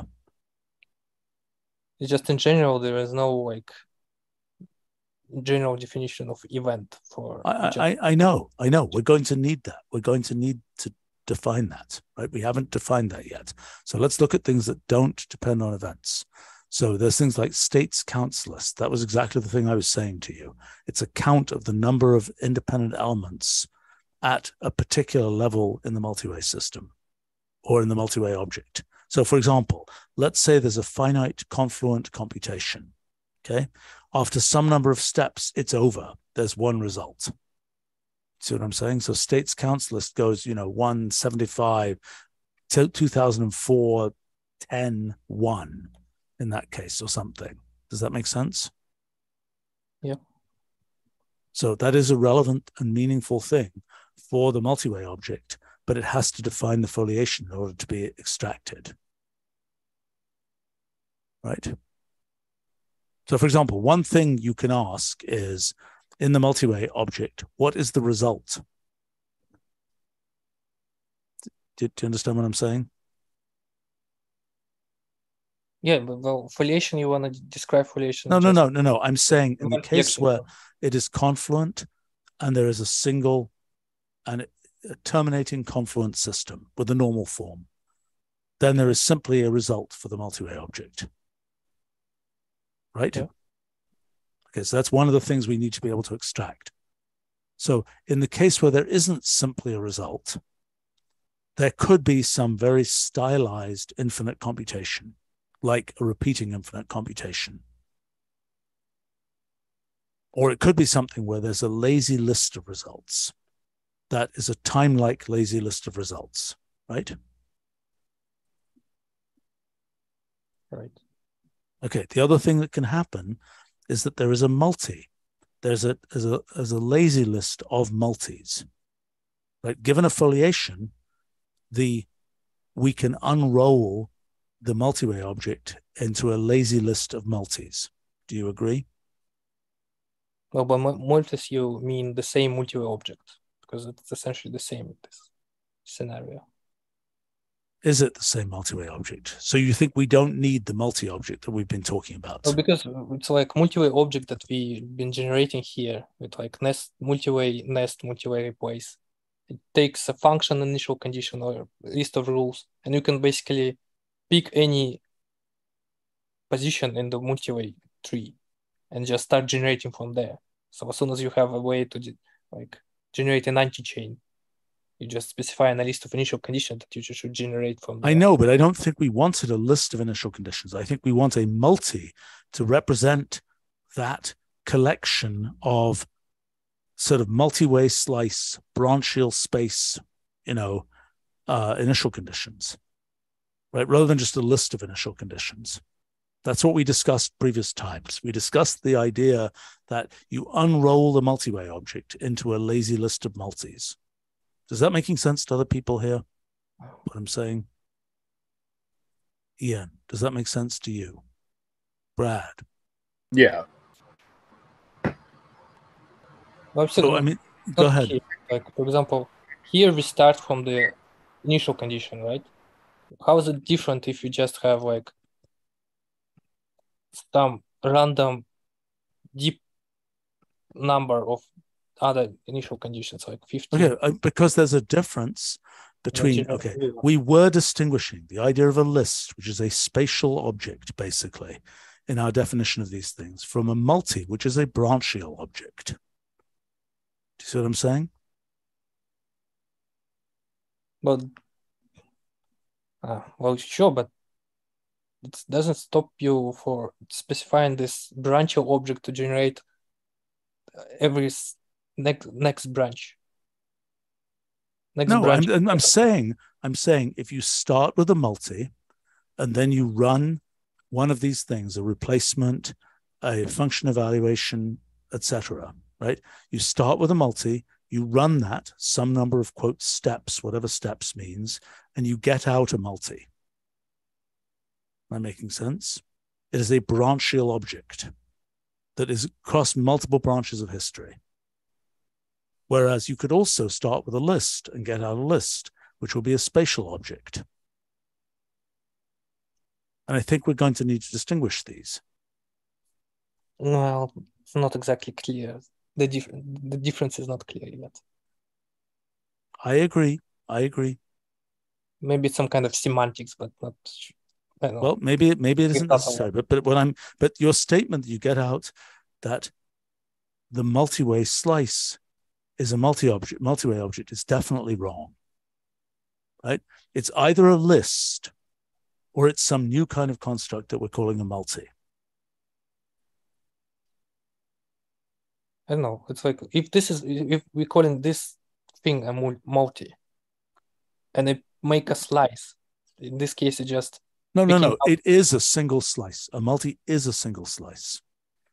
It's not something for which you can make other slices. Now, it may be that the slice has to contain information on which slice it was, not just what it contains, not just what elements are in that slice, but also which slice it was. Do, do you get what I'm saying? Well, maybe it just contains a position of where we sliced it. That's not enough. So That's not enough. It's not even close to enough. You've got a multi-way object, okay? And deciding which anti-chain of all possible anti-chains you pick is not trivial. But it may be useful to contain the indexing of which anti-chain it was that gave you the list of values that you now got. So when you're picking an anti-chain, right? Mm-hmm. You're just picking the list of nodes in a graph if you just have a usual graph. Yes. So how is it different just specifying a position of the each of those vertices and or nodes? What the heck's the position in a graph? Well, because we are dealing not with the graphs but the actual multi-way objects. We're not talking about any equivalence yet. We have a. Are you saying they're trees? Yeah, they're all trees. We have position of each of but those. it's not right. We won't want to represent them as trees. It's not the way that we are. Look. No, no, you'll represent them as a graph with ordered ports. Right, which is which is a thing where it has had the equivalences applied. If we don't apply the equivalences, we'll never get anywhere. It'll be way too right. big. And if the ports are ordered, there's no problem with saying take the second one and then the third one even if it's a DAG. Well, okay, okay, but but that I think requires some kind of token event graph thing. It's yet a different construct. I, I'm saying, given a multi-way object, right? What we need is that every one of those properties of multi-way systems should be extractable from the multi-way object. See what I'm saying? Um, well, I'm not disagreeing that it's impossible. Yeah, they can be extracted. Right, but then we need a clean can be extracted how to do it. So I don't know what that thing is. It's just a tree. You know. Yeah, but it's wrong to be a tree. It's got to merge its branches. Well, we, it doesn't matter whether it's actually explicitly merging it or not. It's when we have to traverse it, we can just not visit it the same node twice, and it's the same as. Okay, I don't think that's going to work. I, I think that I think that the things that are cognitively useful to think of as reference frames will not work if we think of the whole thing as a tree. Think about the following case. Think about a grid graph, okay, which has coordinates at every point. Well-defined Euclidean style coordinates. Okay, now say I'm not going to assume that there's merging of these coordinates. Everything is going to be a tree. See what I'm saying? With exponentially many, you know, you're looking at the paths in the grid graph, not the grid graph itself. You're looking at every path. You're treeing out all the paths. It's not a very useful way to look at the grid graph. The coordinate system is much more useful than that treeing out of paths. But that's an emergent anyway. We can generate a graph and the coordinates from this tree representation, given an equivalence function. I know, but but it's not useful because the way that we're going to want to think about it in terms of reference frames is based on the grid graph representation, not on the tree representation. But so to say that in principle you can go from the tree to the grid graph is not very useful. Go ahead. But the presentation is still an internal thing. It's like it's hidden from the user and from anyone who's working with it anyway. So we just have to hide it away. And I, am confused by that. But the, the basic bottom line is we you got to be able to get out a graph, right? So for example, one thing I should be able to ask from a multi-way object is show me the top of the multi-way object as a multi-way graph going down some number of levels. Now, it's not a tree. Don't show me a tree. It's not a frigging tree. Well, then the it's not a tree. A tree, but then you just uh, equivalent all the nodes to get the graph. Okay, but but so okay, fine. I want to see a graph. I don't want to see the tree. Fine, it can be computed. It's just uh, I don't exactly understand how the graph is useful if you do the equivalency like from the start or in some way It's like I understand. Well, it's- what it's what about clear how timings? How long does it take to compute a whole tree? No, no, no. It, it, it? a Or is it- tree is not a, is a non-starter, right? Because the, the you know all the things we've done and all the things we're studying in physics project and all these different applications of multi-computation, it's all about multi-way graphs, not trees. But the computation itself is a tree-like thing. But it's not because the the branches merge. Otherwise, we right, but you don't do- know the branches merge until you do it. Yes, that's right. Once you do it, you can tell that the branches merge. So the data structure that emerges from actually doing it is a graph like nest graph.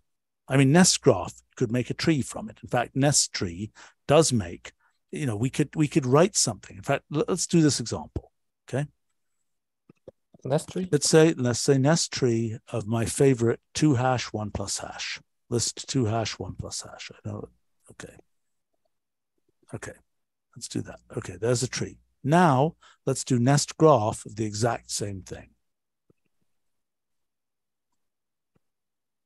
Okay. And you might want to say labels, you know, vertex labels goes to to all. Automatic, whatever. Okay, The second one is doing less calculation. obviously. Obviously. So I'm Well, that's why saying we're doing lazy computation. We don't we don't have to do them until we- it's really necess- right necessary. but I, I, I what i keep on saying is one of the important properties of a multi-way object is to extract the finite multi-way graph as defined up to some fo- slice in the foliation Sure, it can be extracted without doing any necessary stuff okay fine from the lazy tree generator. That's basically maybe Uh, that's all. It's not a lazy tree generator it's a, a multi-way nest you can think of the multi-way nest you know before equivalencing as generating a tree right Okay. Do you, do you agree? Multi-way nest generates a tree. If it doesn't do equivalencing, it generates a tree. Yep. Right? Right. Okay. Now, in actuality, there is an equivalencing that is being done. Right? In what actuality? Well, in the case in the case that is a, a an actual application of multi-way nest, there's going to be equivalencing that's being done. James might want to jump into some of these things. I mean, in the actual case that we're going to look at for, I don't know, chemistry or, you know, or physics or metamathematics, in all of those cases, there's lots of equivalencing that's being done. Right? I mean, Nick, you've worked on this stuff for, for, right, the, Right.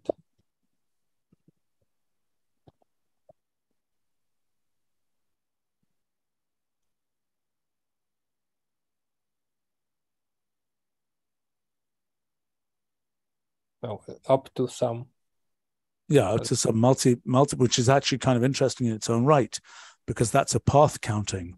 That actually includes the path counting in the multi-way graph, Right. which, by the way, is something we need to be able to do. If you label it But, but path counting is also easy to do after the fact. Okay, so they're very so that if, if you say vertex label are automatic, you'll see the, the whole thing. Just to do vertex label, oh,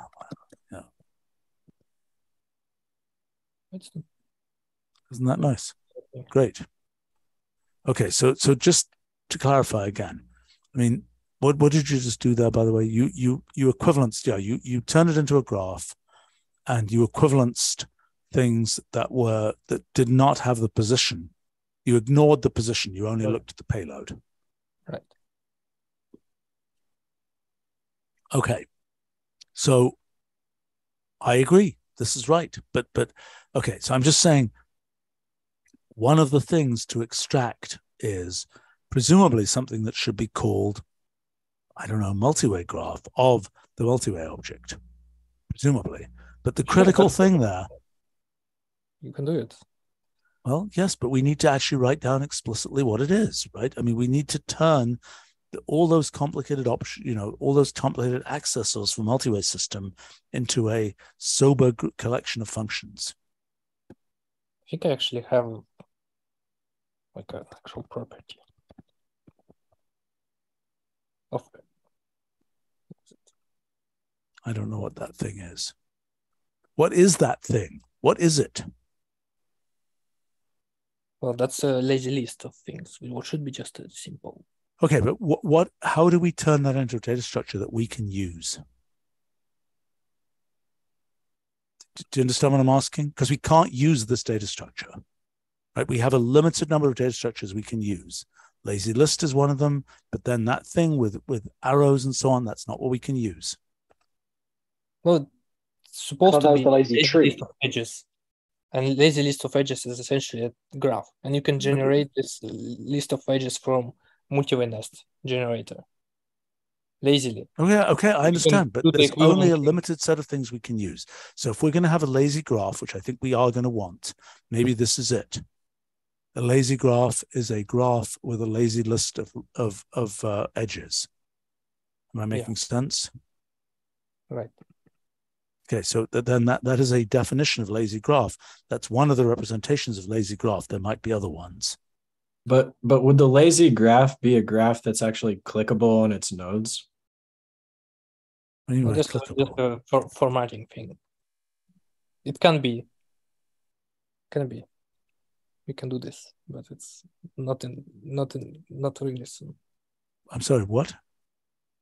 Oh, you mean you mean actually clickable, as in you can yeah, drill yeah. down to a you node. Can do the. Now, that's something that is part of the graph. The longer term roadmap for graphs. But but again, okay. So what we're agreeing is that there is a third. There's lazy list, there's lazy tree, and there's lazy graph. Is that correct? Yes. Well, maybe lazy expression. Well, we don't think we're going there yet. You can prove that later. Right now, we have lazy list, lazy tree, lazy graph. Right, so we're going to need functions like, okay, so again, again, what we need to do is, and this is Kristen, this is something I'm going to expect from you. Okay, you're going to make a list of the things that are in multi-way system. And for each one, we're going to figure out how we map that into functions that we are defining here. Does that make sense? Yes. Or, or properties we're defining for multi-way object. Okay. So for example, I would imagine we will have a branchial graph function, which can either take a, an explicit uh, DAG or it can take a lazy graph. Does that make sense?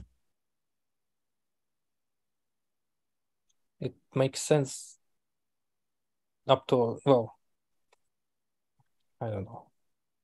It just generates an if you have a generator of anti-chains then i think just branchial graph can be defined on top of that. Indeed. But but uh, you, look the point that we keep on making is we need this domain specific language for representing anti-chains. Right? We have pieces of that language. Ian has defined some with tree traversal order, right? We've had some of those defined in multi-way system. That's the thing I've been saying for weeks is a, is a key part of this is making that domain specific language for anti-chain foliations, tra- transversals, slices, whatever you call them. Am I making sense? Right. Yeah. Okay. Just, we have a few. What? Go ahead. I just still think that it's just a the same multi-way object as here. It's the same object representing an anti-chain. So the the, the perhaps, object perhaps it is. is the same as the for the okay. Well, perhaps it is. Then we don't need a multi, and we're going to call it multi-way object instead. But either way, we're going to need a thing that extracts a slice. You see what I'm saying? what that slice is, it might be a multi-way object, but we have to say which slice we want. Does that make sense? Sure. Okay, so the question is, how are we going to say which slice we want? Well, the most general is just, as I said, this is list of positions because it's a tree. You just have Except to. Except that that's that's redundant, right? That's in the tree. There are many let, let's say that the position 172 was included in the anti-chain specification. Okay. But the position 248 was not included in the anti-chain specification. Yet those two positions have the same payload. Right? That's not a valid thing to do.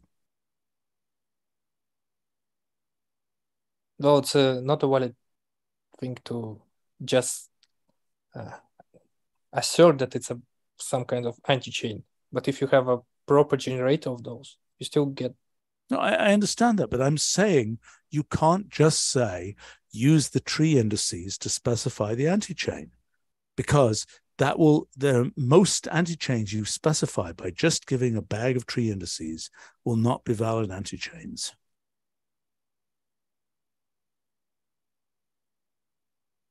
Do you see what I'm saying?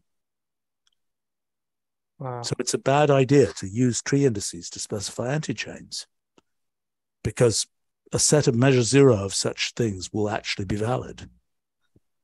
Well, you have well, what is the actual definition? You if you have a list of positions and the only constraint for it to be an anti-chain, so that those positions shouldn't like be.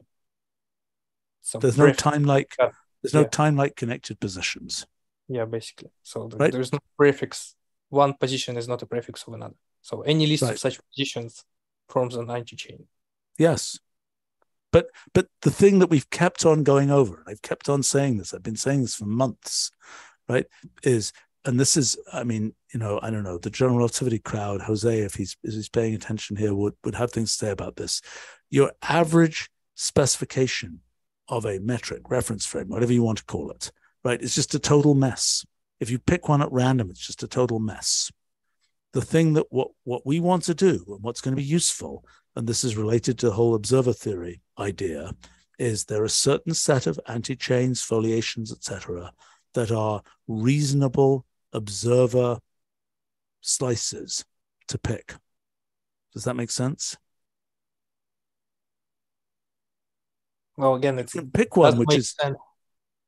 again, it does make sense only for the if you want to make a connection to phys- physics. No, it's nothing to do with physics. It's it's true for basically every application of multi-way object. Same story. You want to do probabilistic programming, you want to do various kinds of distributed computing, it's going to be the same story every time. It's no good just picking random, you know, random undefined elements where you don't even know which elements are going to exist until you run the computation. That's not what will work you have to have a an organized way to pick the the the elements that you want to be con- considered to be the simultaneous elements of particular steps. When you say simultaneous, I think it doesn't even make sense to just to say it about the elements of a multi-way graph. Because you, it's you when you say simultaneous, you're already assuming a causal graph. So I don't think it doesn't make sense to foliate a multi-way graph and like well, but it does. But it does. But but but look at what you're doing in the case. Well, one issue with the foliating the multi-way graphs is if you're only computing a partial graph, you don't know that whatever foliation you have on that partial graph is, ac- is actually correct. I know that. I know that. But that's why I'm saying, yeah, right. I agree.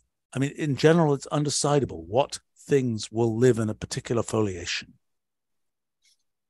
Because there could be a way, a path to get back to that element. Yeah. That's, you know, far in the future. I do want to talk about the causal graph case, but but I just want to come back to I mean again, we've made these lists before, and Krista and I expect you to have this list next time of the use cases for multi-way objects, right? We, we talked about it before, finding an element, finding an element with certain properties, etc. Maybe you already have this. Right, that, but there's there's many, many more properties. We already went through this at least three times, right? And okay, so, but let's look at your path for a second. Okay. You are given a particular object, a particular destination, and you are asked, show me a path that reaches that destination. Is that correct? Yeah, basically find it. Right. You traverse it. You're but, okay, but are you finding the shortest path that gets to that destination? No, just finds it in whatever traversal order you specify. As soon as soon as it finds it, it just it returns it. Okay, fine. So it's got a traversal yeah. order, which is you're saying for the purpose of this particular property of paths, the thing could be a tree. It would make no difference. Right? This particular property, it's the same mm-hmm. between a tree and a graph. Correct? The property of a path. No, no, no, no. If your objective is to find a path, it yeah. doesn't matter whether the object that you are finding the path in is a graph or a tree. I right? guess. Right. Right. Which is why you're looking at these things in terms of trees. But many properties that we want will care about whether it's a graph or a tree. For example, a property that depends on what's the probability to be in a particular region of branchial space, basically. That's going to depend on it being a graph. You've got to have made the equivalences already, or you're not going to be able to answer that question. Right? But the, your particular thing. You can traverse it as a tree. You just keep track of of the same element. Fine, but but I mean, this path thing is a very fibrous kind of computation. It's just looking at a single fiber. You're trying to find a single fiber, or maybe more than one. No, you're finding a single path. That's what find path oh. It's just find paths here. No, no, no, no, no, no, no, no, no. Let, let's be clear. What are you actually doing here? Is it find? Okay, like find path, you might be able to give it multiple paths to find, right? Right. Okay, fine. But it is finding a limited set of paths, not necessarily this the shortest one. I don't know what the hell that is because I, whatever it is, we don't want it. This continue thing. It's it's look, you're finding a path, you're being given that constraint. I, I know time constraint. I know. I assume that's not a constraint in terms of time like edges. That's a constraint in terms of number of uh-huh. seconds, right? Number of seconds. Sure. Okay. It's the it's the time like edges, but for oh. the actual universe, not for the not for our model universe. Yeah, yeah, yeah. Correct. Okay. Well, we have a lazy computation, right? So it makes sense for whatever method it's using, whatever actual. But we don't have lazy computation. We have multi-way object. We don't have that. We have. I thought we said we had. No, we say we have a single lazy computation object. Correct. We have multi-way object, which is the result of the thing of multi-way nest. Correct. Right. Correct. Okay. Okay, so, so it's a multi-way computation. Why it doesn't make sense to continue your search in the multi-way graph if you want? Maybe it does, but I'm not sure that's the right semantics. Okay, I would just find a path again. You, you cached the information, just find a path again. If that path didn't work going to 10 steps or something, try it to 20 steps. See what I'm saying? I, it's not the right semantics. It's a procedural semantics that is not, I think, the right thing. But, but in any case, what you're saying is these functions can find one path or many paths, right? Yeah.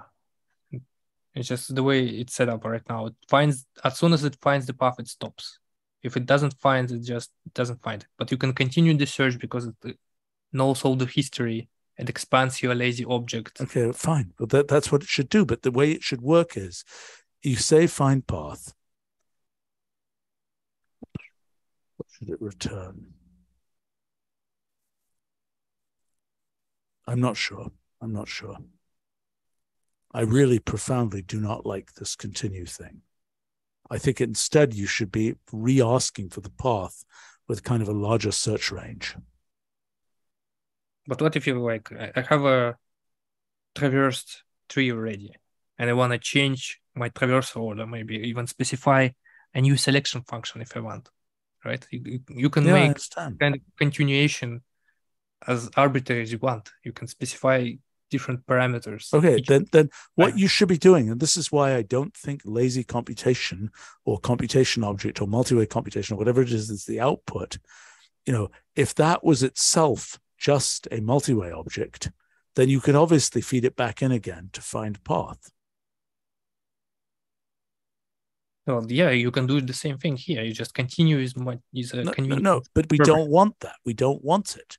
We don't want something that is a is a undefined continue where it doesn't even specify the traversal order. It's like it's like saying, you know, okay, okay, let me just let's just understand what that semantics would be in other parts of the language if we were to have a thing called continue like that, right? Where would we use it? Well, the reason we don't use it is because essentially all of our computations run to completion. Do you see what I'm saying? Yep.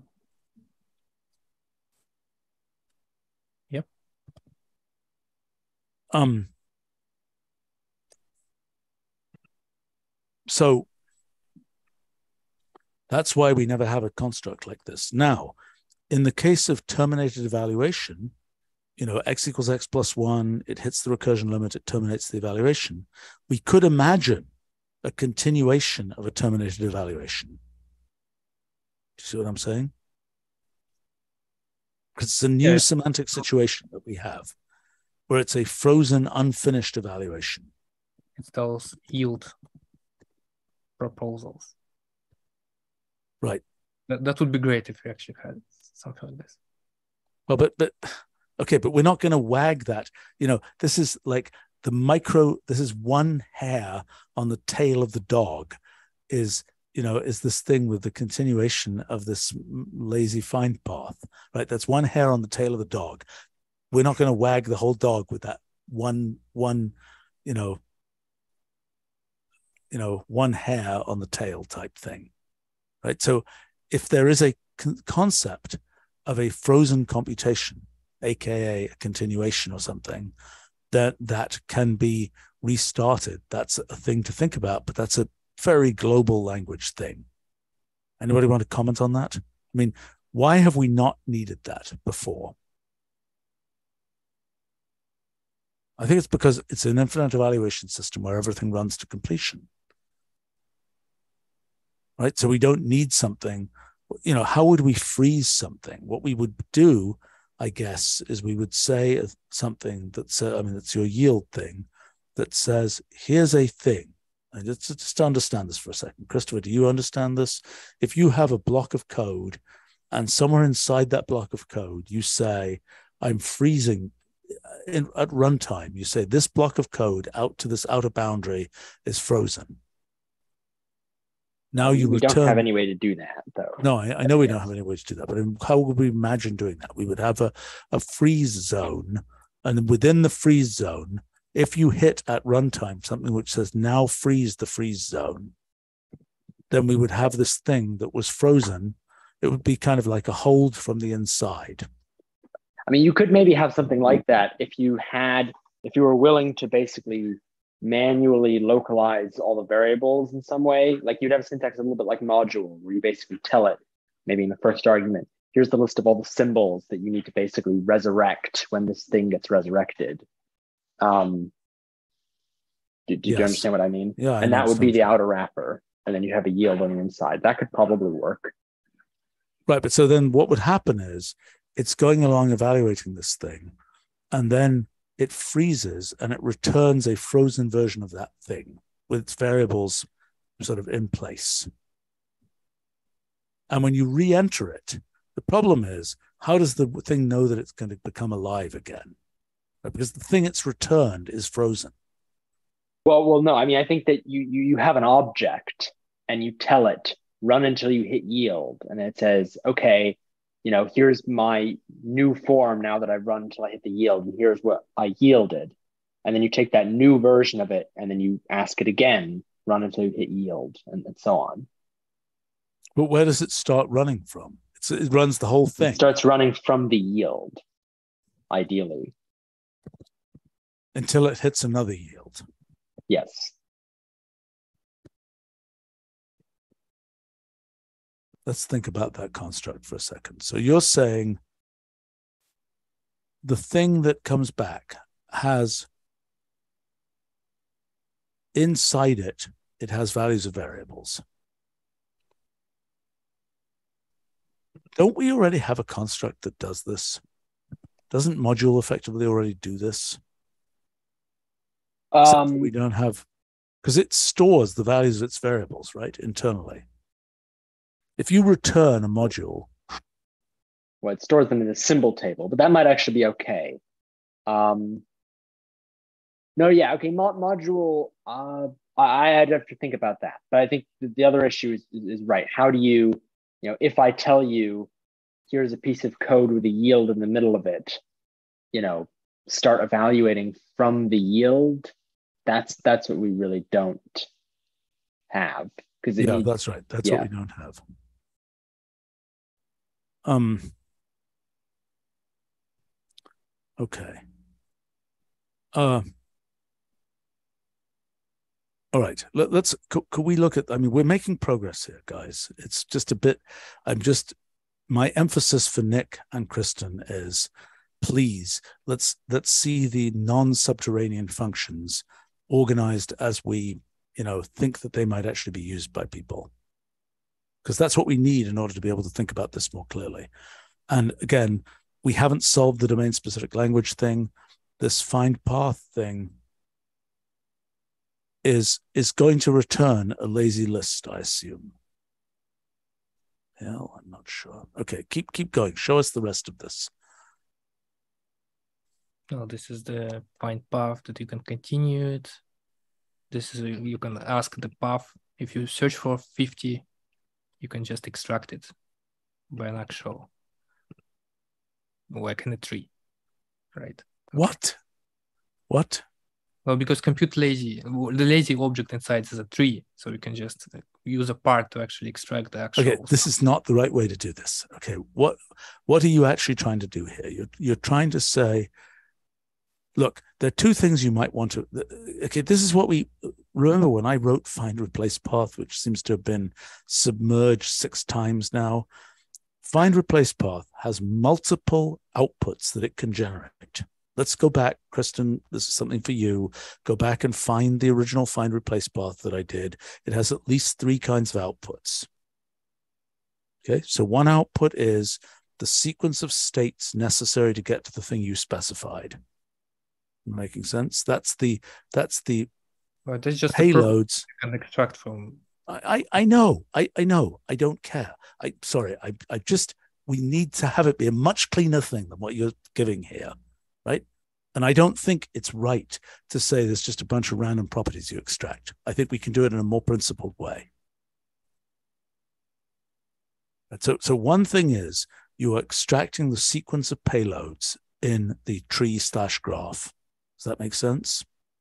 Another thing is you're extracting the tagged path graph effectively that says which transformation is made on each edge to get to the next because you, you created this with a uh, a multi-way nest okay yeah. and that multi-way nest has essentially an index for each Hello? you know what's that I, I just lost you for, for a second oh the index it has an index which is the tree index that you are talking about here right Yeah. but it's okay. So that's another thing. So so you know, another thing that you can get, which I had in find replace path, is the graph fragment.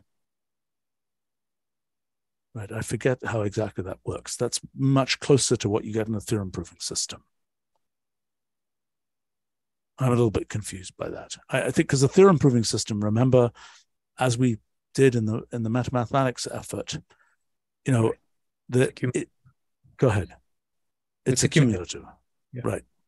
And that we're going to want something like that here, and we're going to want the equivalent of a token event graph here, because these things are all one goes to many. All, all the things you defined, the multi-way nest, et cetera, et cetera, et cetera, those are all one goes to many, are they not? Yeah, and the replace and the evaluation too.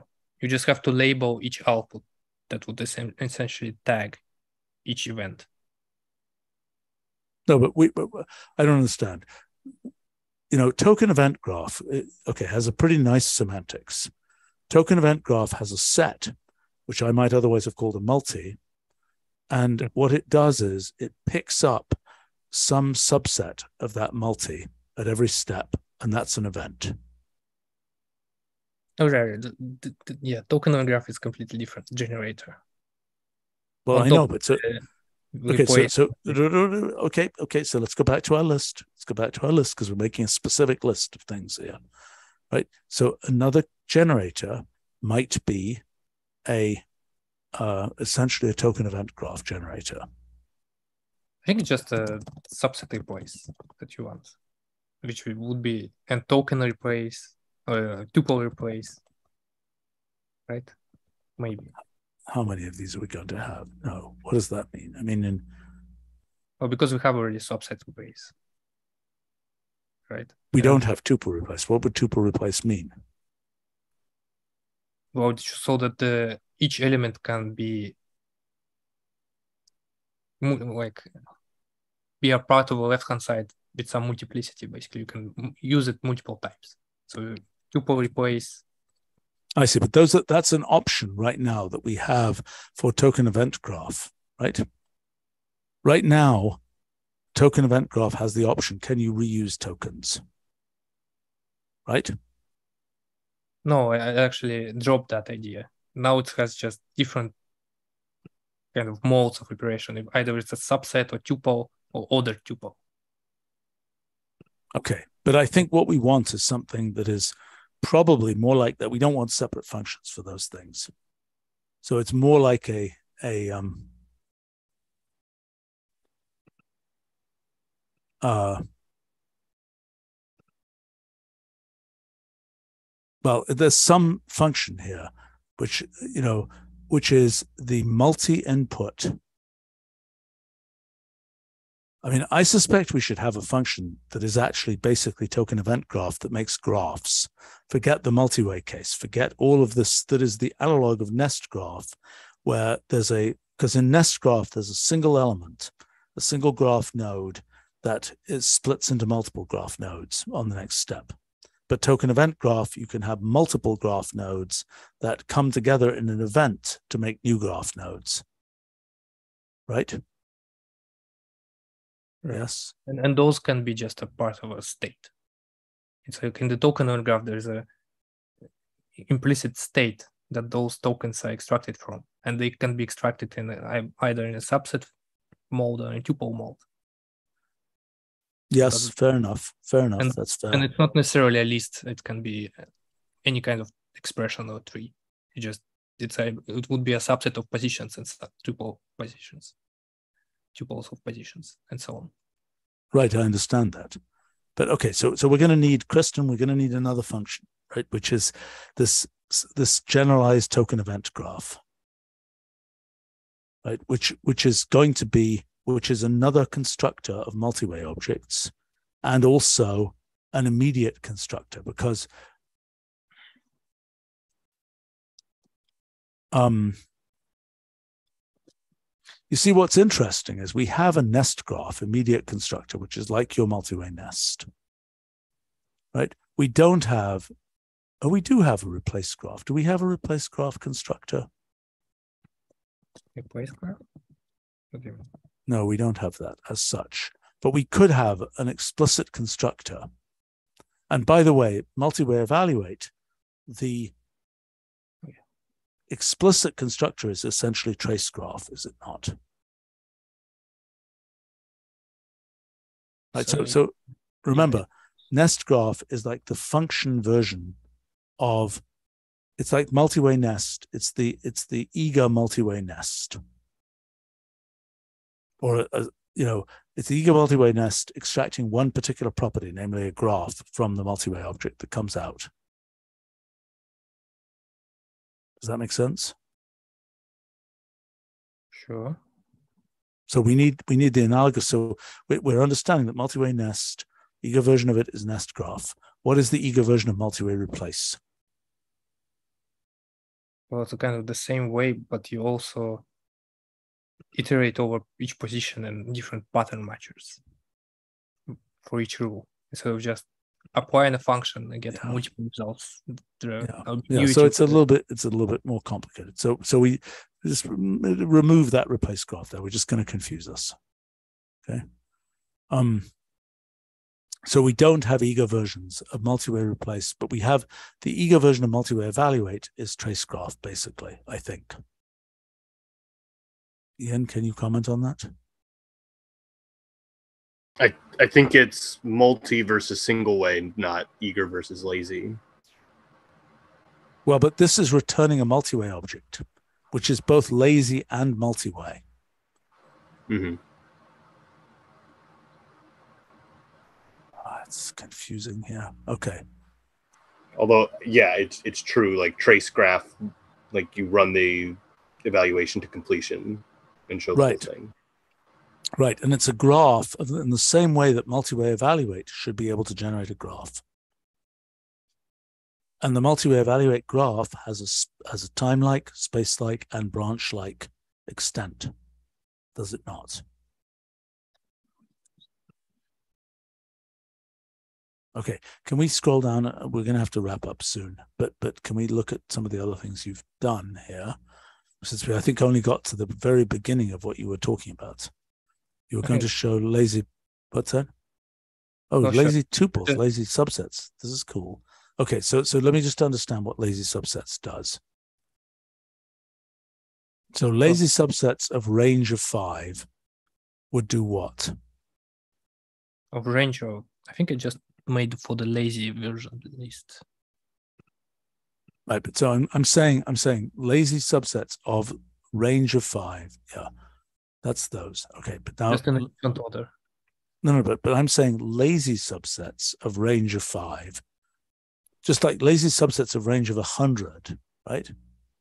Yeah. I think I'm not sure that you can do that. Okay, so so what you need to do, and that's what we discussed last time, was that lazy subsets of range of 100 is a perfectly meaningful thing. Right? We discussed that last time, right? Right. Because then what we want to be able to do is to iterate over that and do lazy style operations. So we want to find out the hundredth subset in lazy subsets of range of 100. Making sense? That doesn't work. no, I'm sure it doesn't work. Oh, it depends on your actual implementation. Yeah, but I mean, it should work. Yeah. Right, it, should work. That should be so. I think Ed Pegg has a um a thing in the function repository for subsets and various other things like this of an indexed version of that.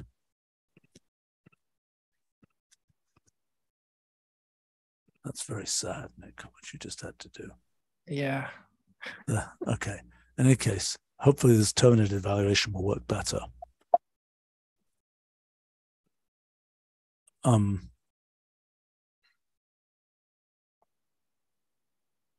okay. In any case, okay. So that, what, what are we saying here? So do you agree lazy subsets of a of a eager range of 100 should work yes do you agree sure of course sure. okay lazy subsets of lazy range that should use something like Ed Pegg's technology for simply enumerating all possible subsets of all possible sizes which i believe exists yeah it's like something like subset from index you can just iterate it over it's actually what i use permutation variant of that for the lazy permutations. Okay, but it, cool. But tuples as subsets, I try to make something differently, but I could use the same thing. Just okay, fine. Because we, we, we have a canonical ordering from subset from index, and we should check that it's sensible canonical ordering. I think tuples, but, I'm sure it kind of the same order. Okay, all right, okay.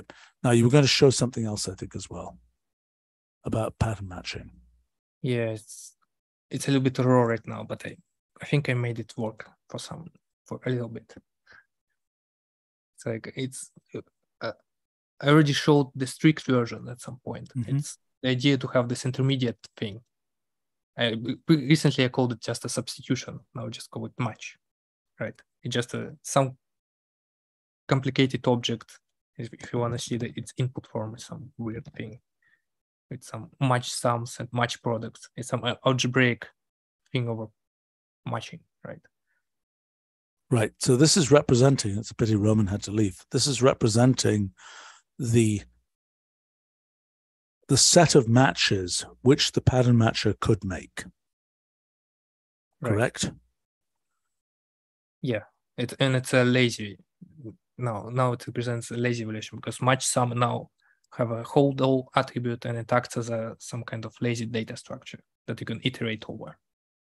Okay, and but, but the, the bottom line of this object is that basically there's a thing there needs to be some function i don't know what it should be called replacements or something which gives you the explicit with respect to an expression a rule it tells you is that the right way to look at it? It tells you the collection of bindings that are possible. Is that right? Yeah like this one. It's like you you take this match object and then you extract bind, bindings from this. And and this is going to be a lazy list generator one of those that just generates association of actual symbol bindings in this case then you can because it's lazy you can just take few of them if you want. Okay so but but the function which we still don't have let's take the function match bindings as an eager function independent of all of this. What it's mm-hmm. going to do is it's going to take it's going to be like match Q but it's going to say what are the bindings of this to that? Is that correct? Match Q doesn't do that. Match Q just mm-hmm. says does it match in the eager case it's actually a very simple function to write right you just use replace you, you have an expression and it's some pattern and then you just list a list of variables you use in the pattern here yeah, but then you have to use replace list, right? Because replace list yeah. gives you all possible ones of these. Yeah. And you make an association like out of those. Yeah, yeah, right, right. But so so what are we going to call that function? That's a good function, but what are we going to call it? Maybe there's already one in the repository. There, well, there may be in the repository, but I don't think I don't know whether there is. But okay, but let's agree we're going to have Kristen. This is again something for you. This is a function we're going to have, right? Is it called pattern bindings? Yeah, let's try it. Maybe it's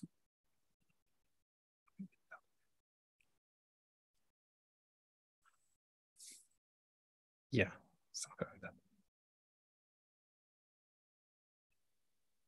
Okay.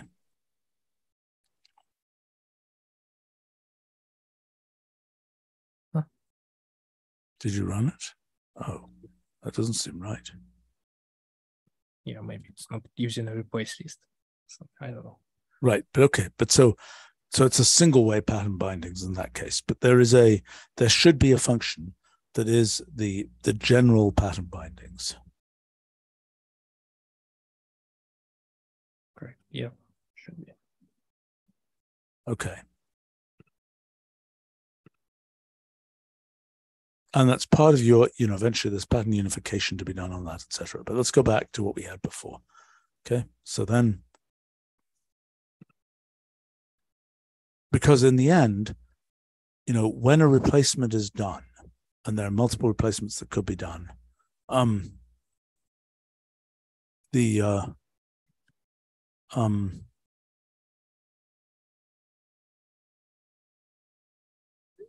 I have to go in a second here, but but um, okay. But so what you have here is a lazy version of pattern bindings, where you could, which will feed into multi-way replace to be the thing that it extracts, right? Yeah, that that's what I have already for the strict version, some old version. You can I have a version for match Q, replace list, replace that using this intermediate object. And now right. I have a lazy one. What it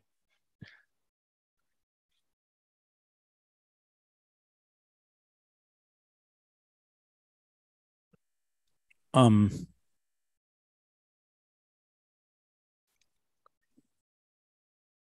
Okay.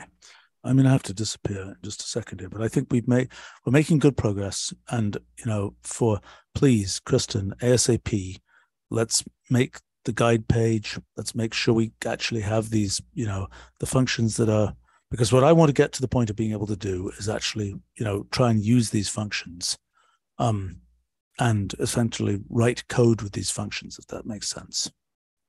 Yeah, for the next meeting, we'll have the functions implemented and the guide page ready. Are we good? Okay. Okay. Nick, you're you're making good progress here. I mean, I just I'm I'm I'm just I think you have the point of view that, well, as you said, you just implement a bunch of things. But I think we're now ready to kind of clean this up and you know tighten it up. Does that make sense to you? I mean, we're not completely ready because we don't know how to do these foliation specifications. That's the big challenge. Yeah. Okay. Okay. And and I think that challenge, I'm, I'm going to tell you, I think that challenge is going to look very like what it looks like in general relativity and places like that, where they're like named metrics and so on. I don't, I doubt we're going to have some way of saying, you know, parameterizing all possible reasonable frames, if that makes sense. Yeah. Actually working on some simple functions that actually uh, implementing some embedding for the DAG, especially co- co- coordination. How, how do we, did we call it? Coordinatization or directed acyclic graphs, basically. Oh wow, okay. Because I mean that's what we're talking about here. Yes, that is a yes. If you can coordinate as a DAG, have you talked have you talked to Brad about this stuff? Does Brad know what you're doing? No, not yet. Well, I, I haven't actually implemented it. I just have a list of ideas. It's like what I have two functions that I have to do. Okay. I mean, you're going to end up re- recapitulating the ADM formalism of general relativity, I suspect. No, I don't think it's. It's it's a very simple thing. It's like and have to embed it in the given dimension. It's a embedding a partial order in a given integer dimension thing. Okay. It's just a, it's called, you just have to implement a multi-dimensional scaling that we already have. It's just, a, it's not working for the arbitrary distance, graph distance metrics, right? Okay. So make a causal graph, make a distance matrix out of it and make a multi-dimensional scaling. And you embed it into any dimension you want. I don't know why, why nobody still haven't done it. Okay, well, you should describe it another time. I mean, we've okay, we got the foliation coordinatization business, we've got the causal graph business, um, and uh, right, um, okay, we got to wrap up here. Thank you all very much, and uh, see you another time.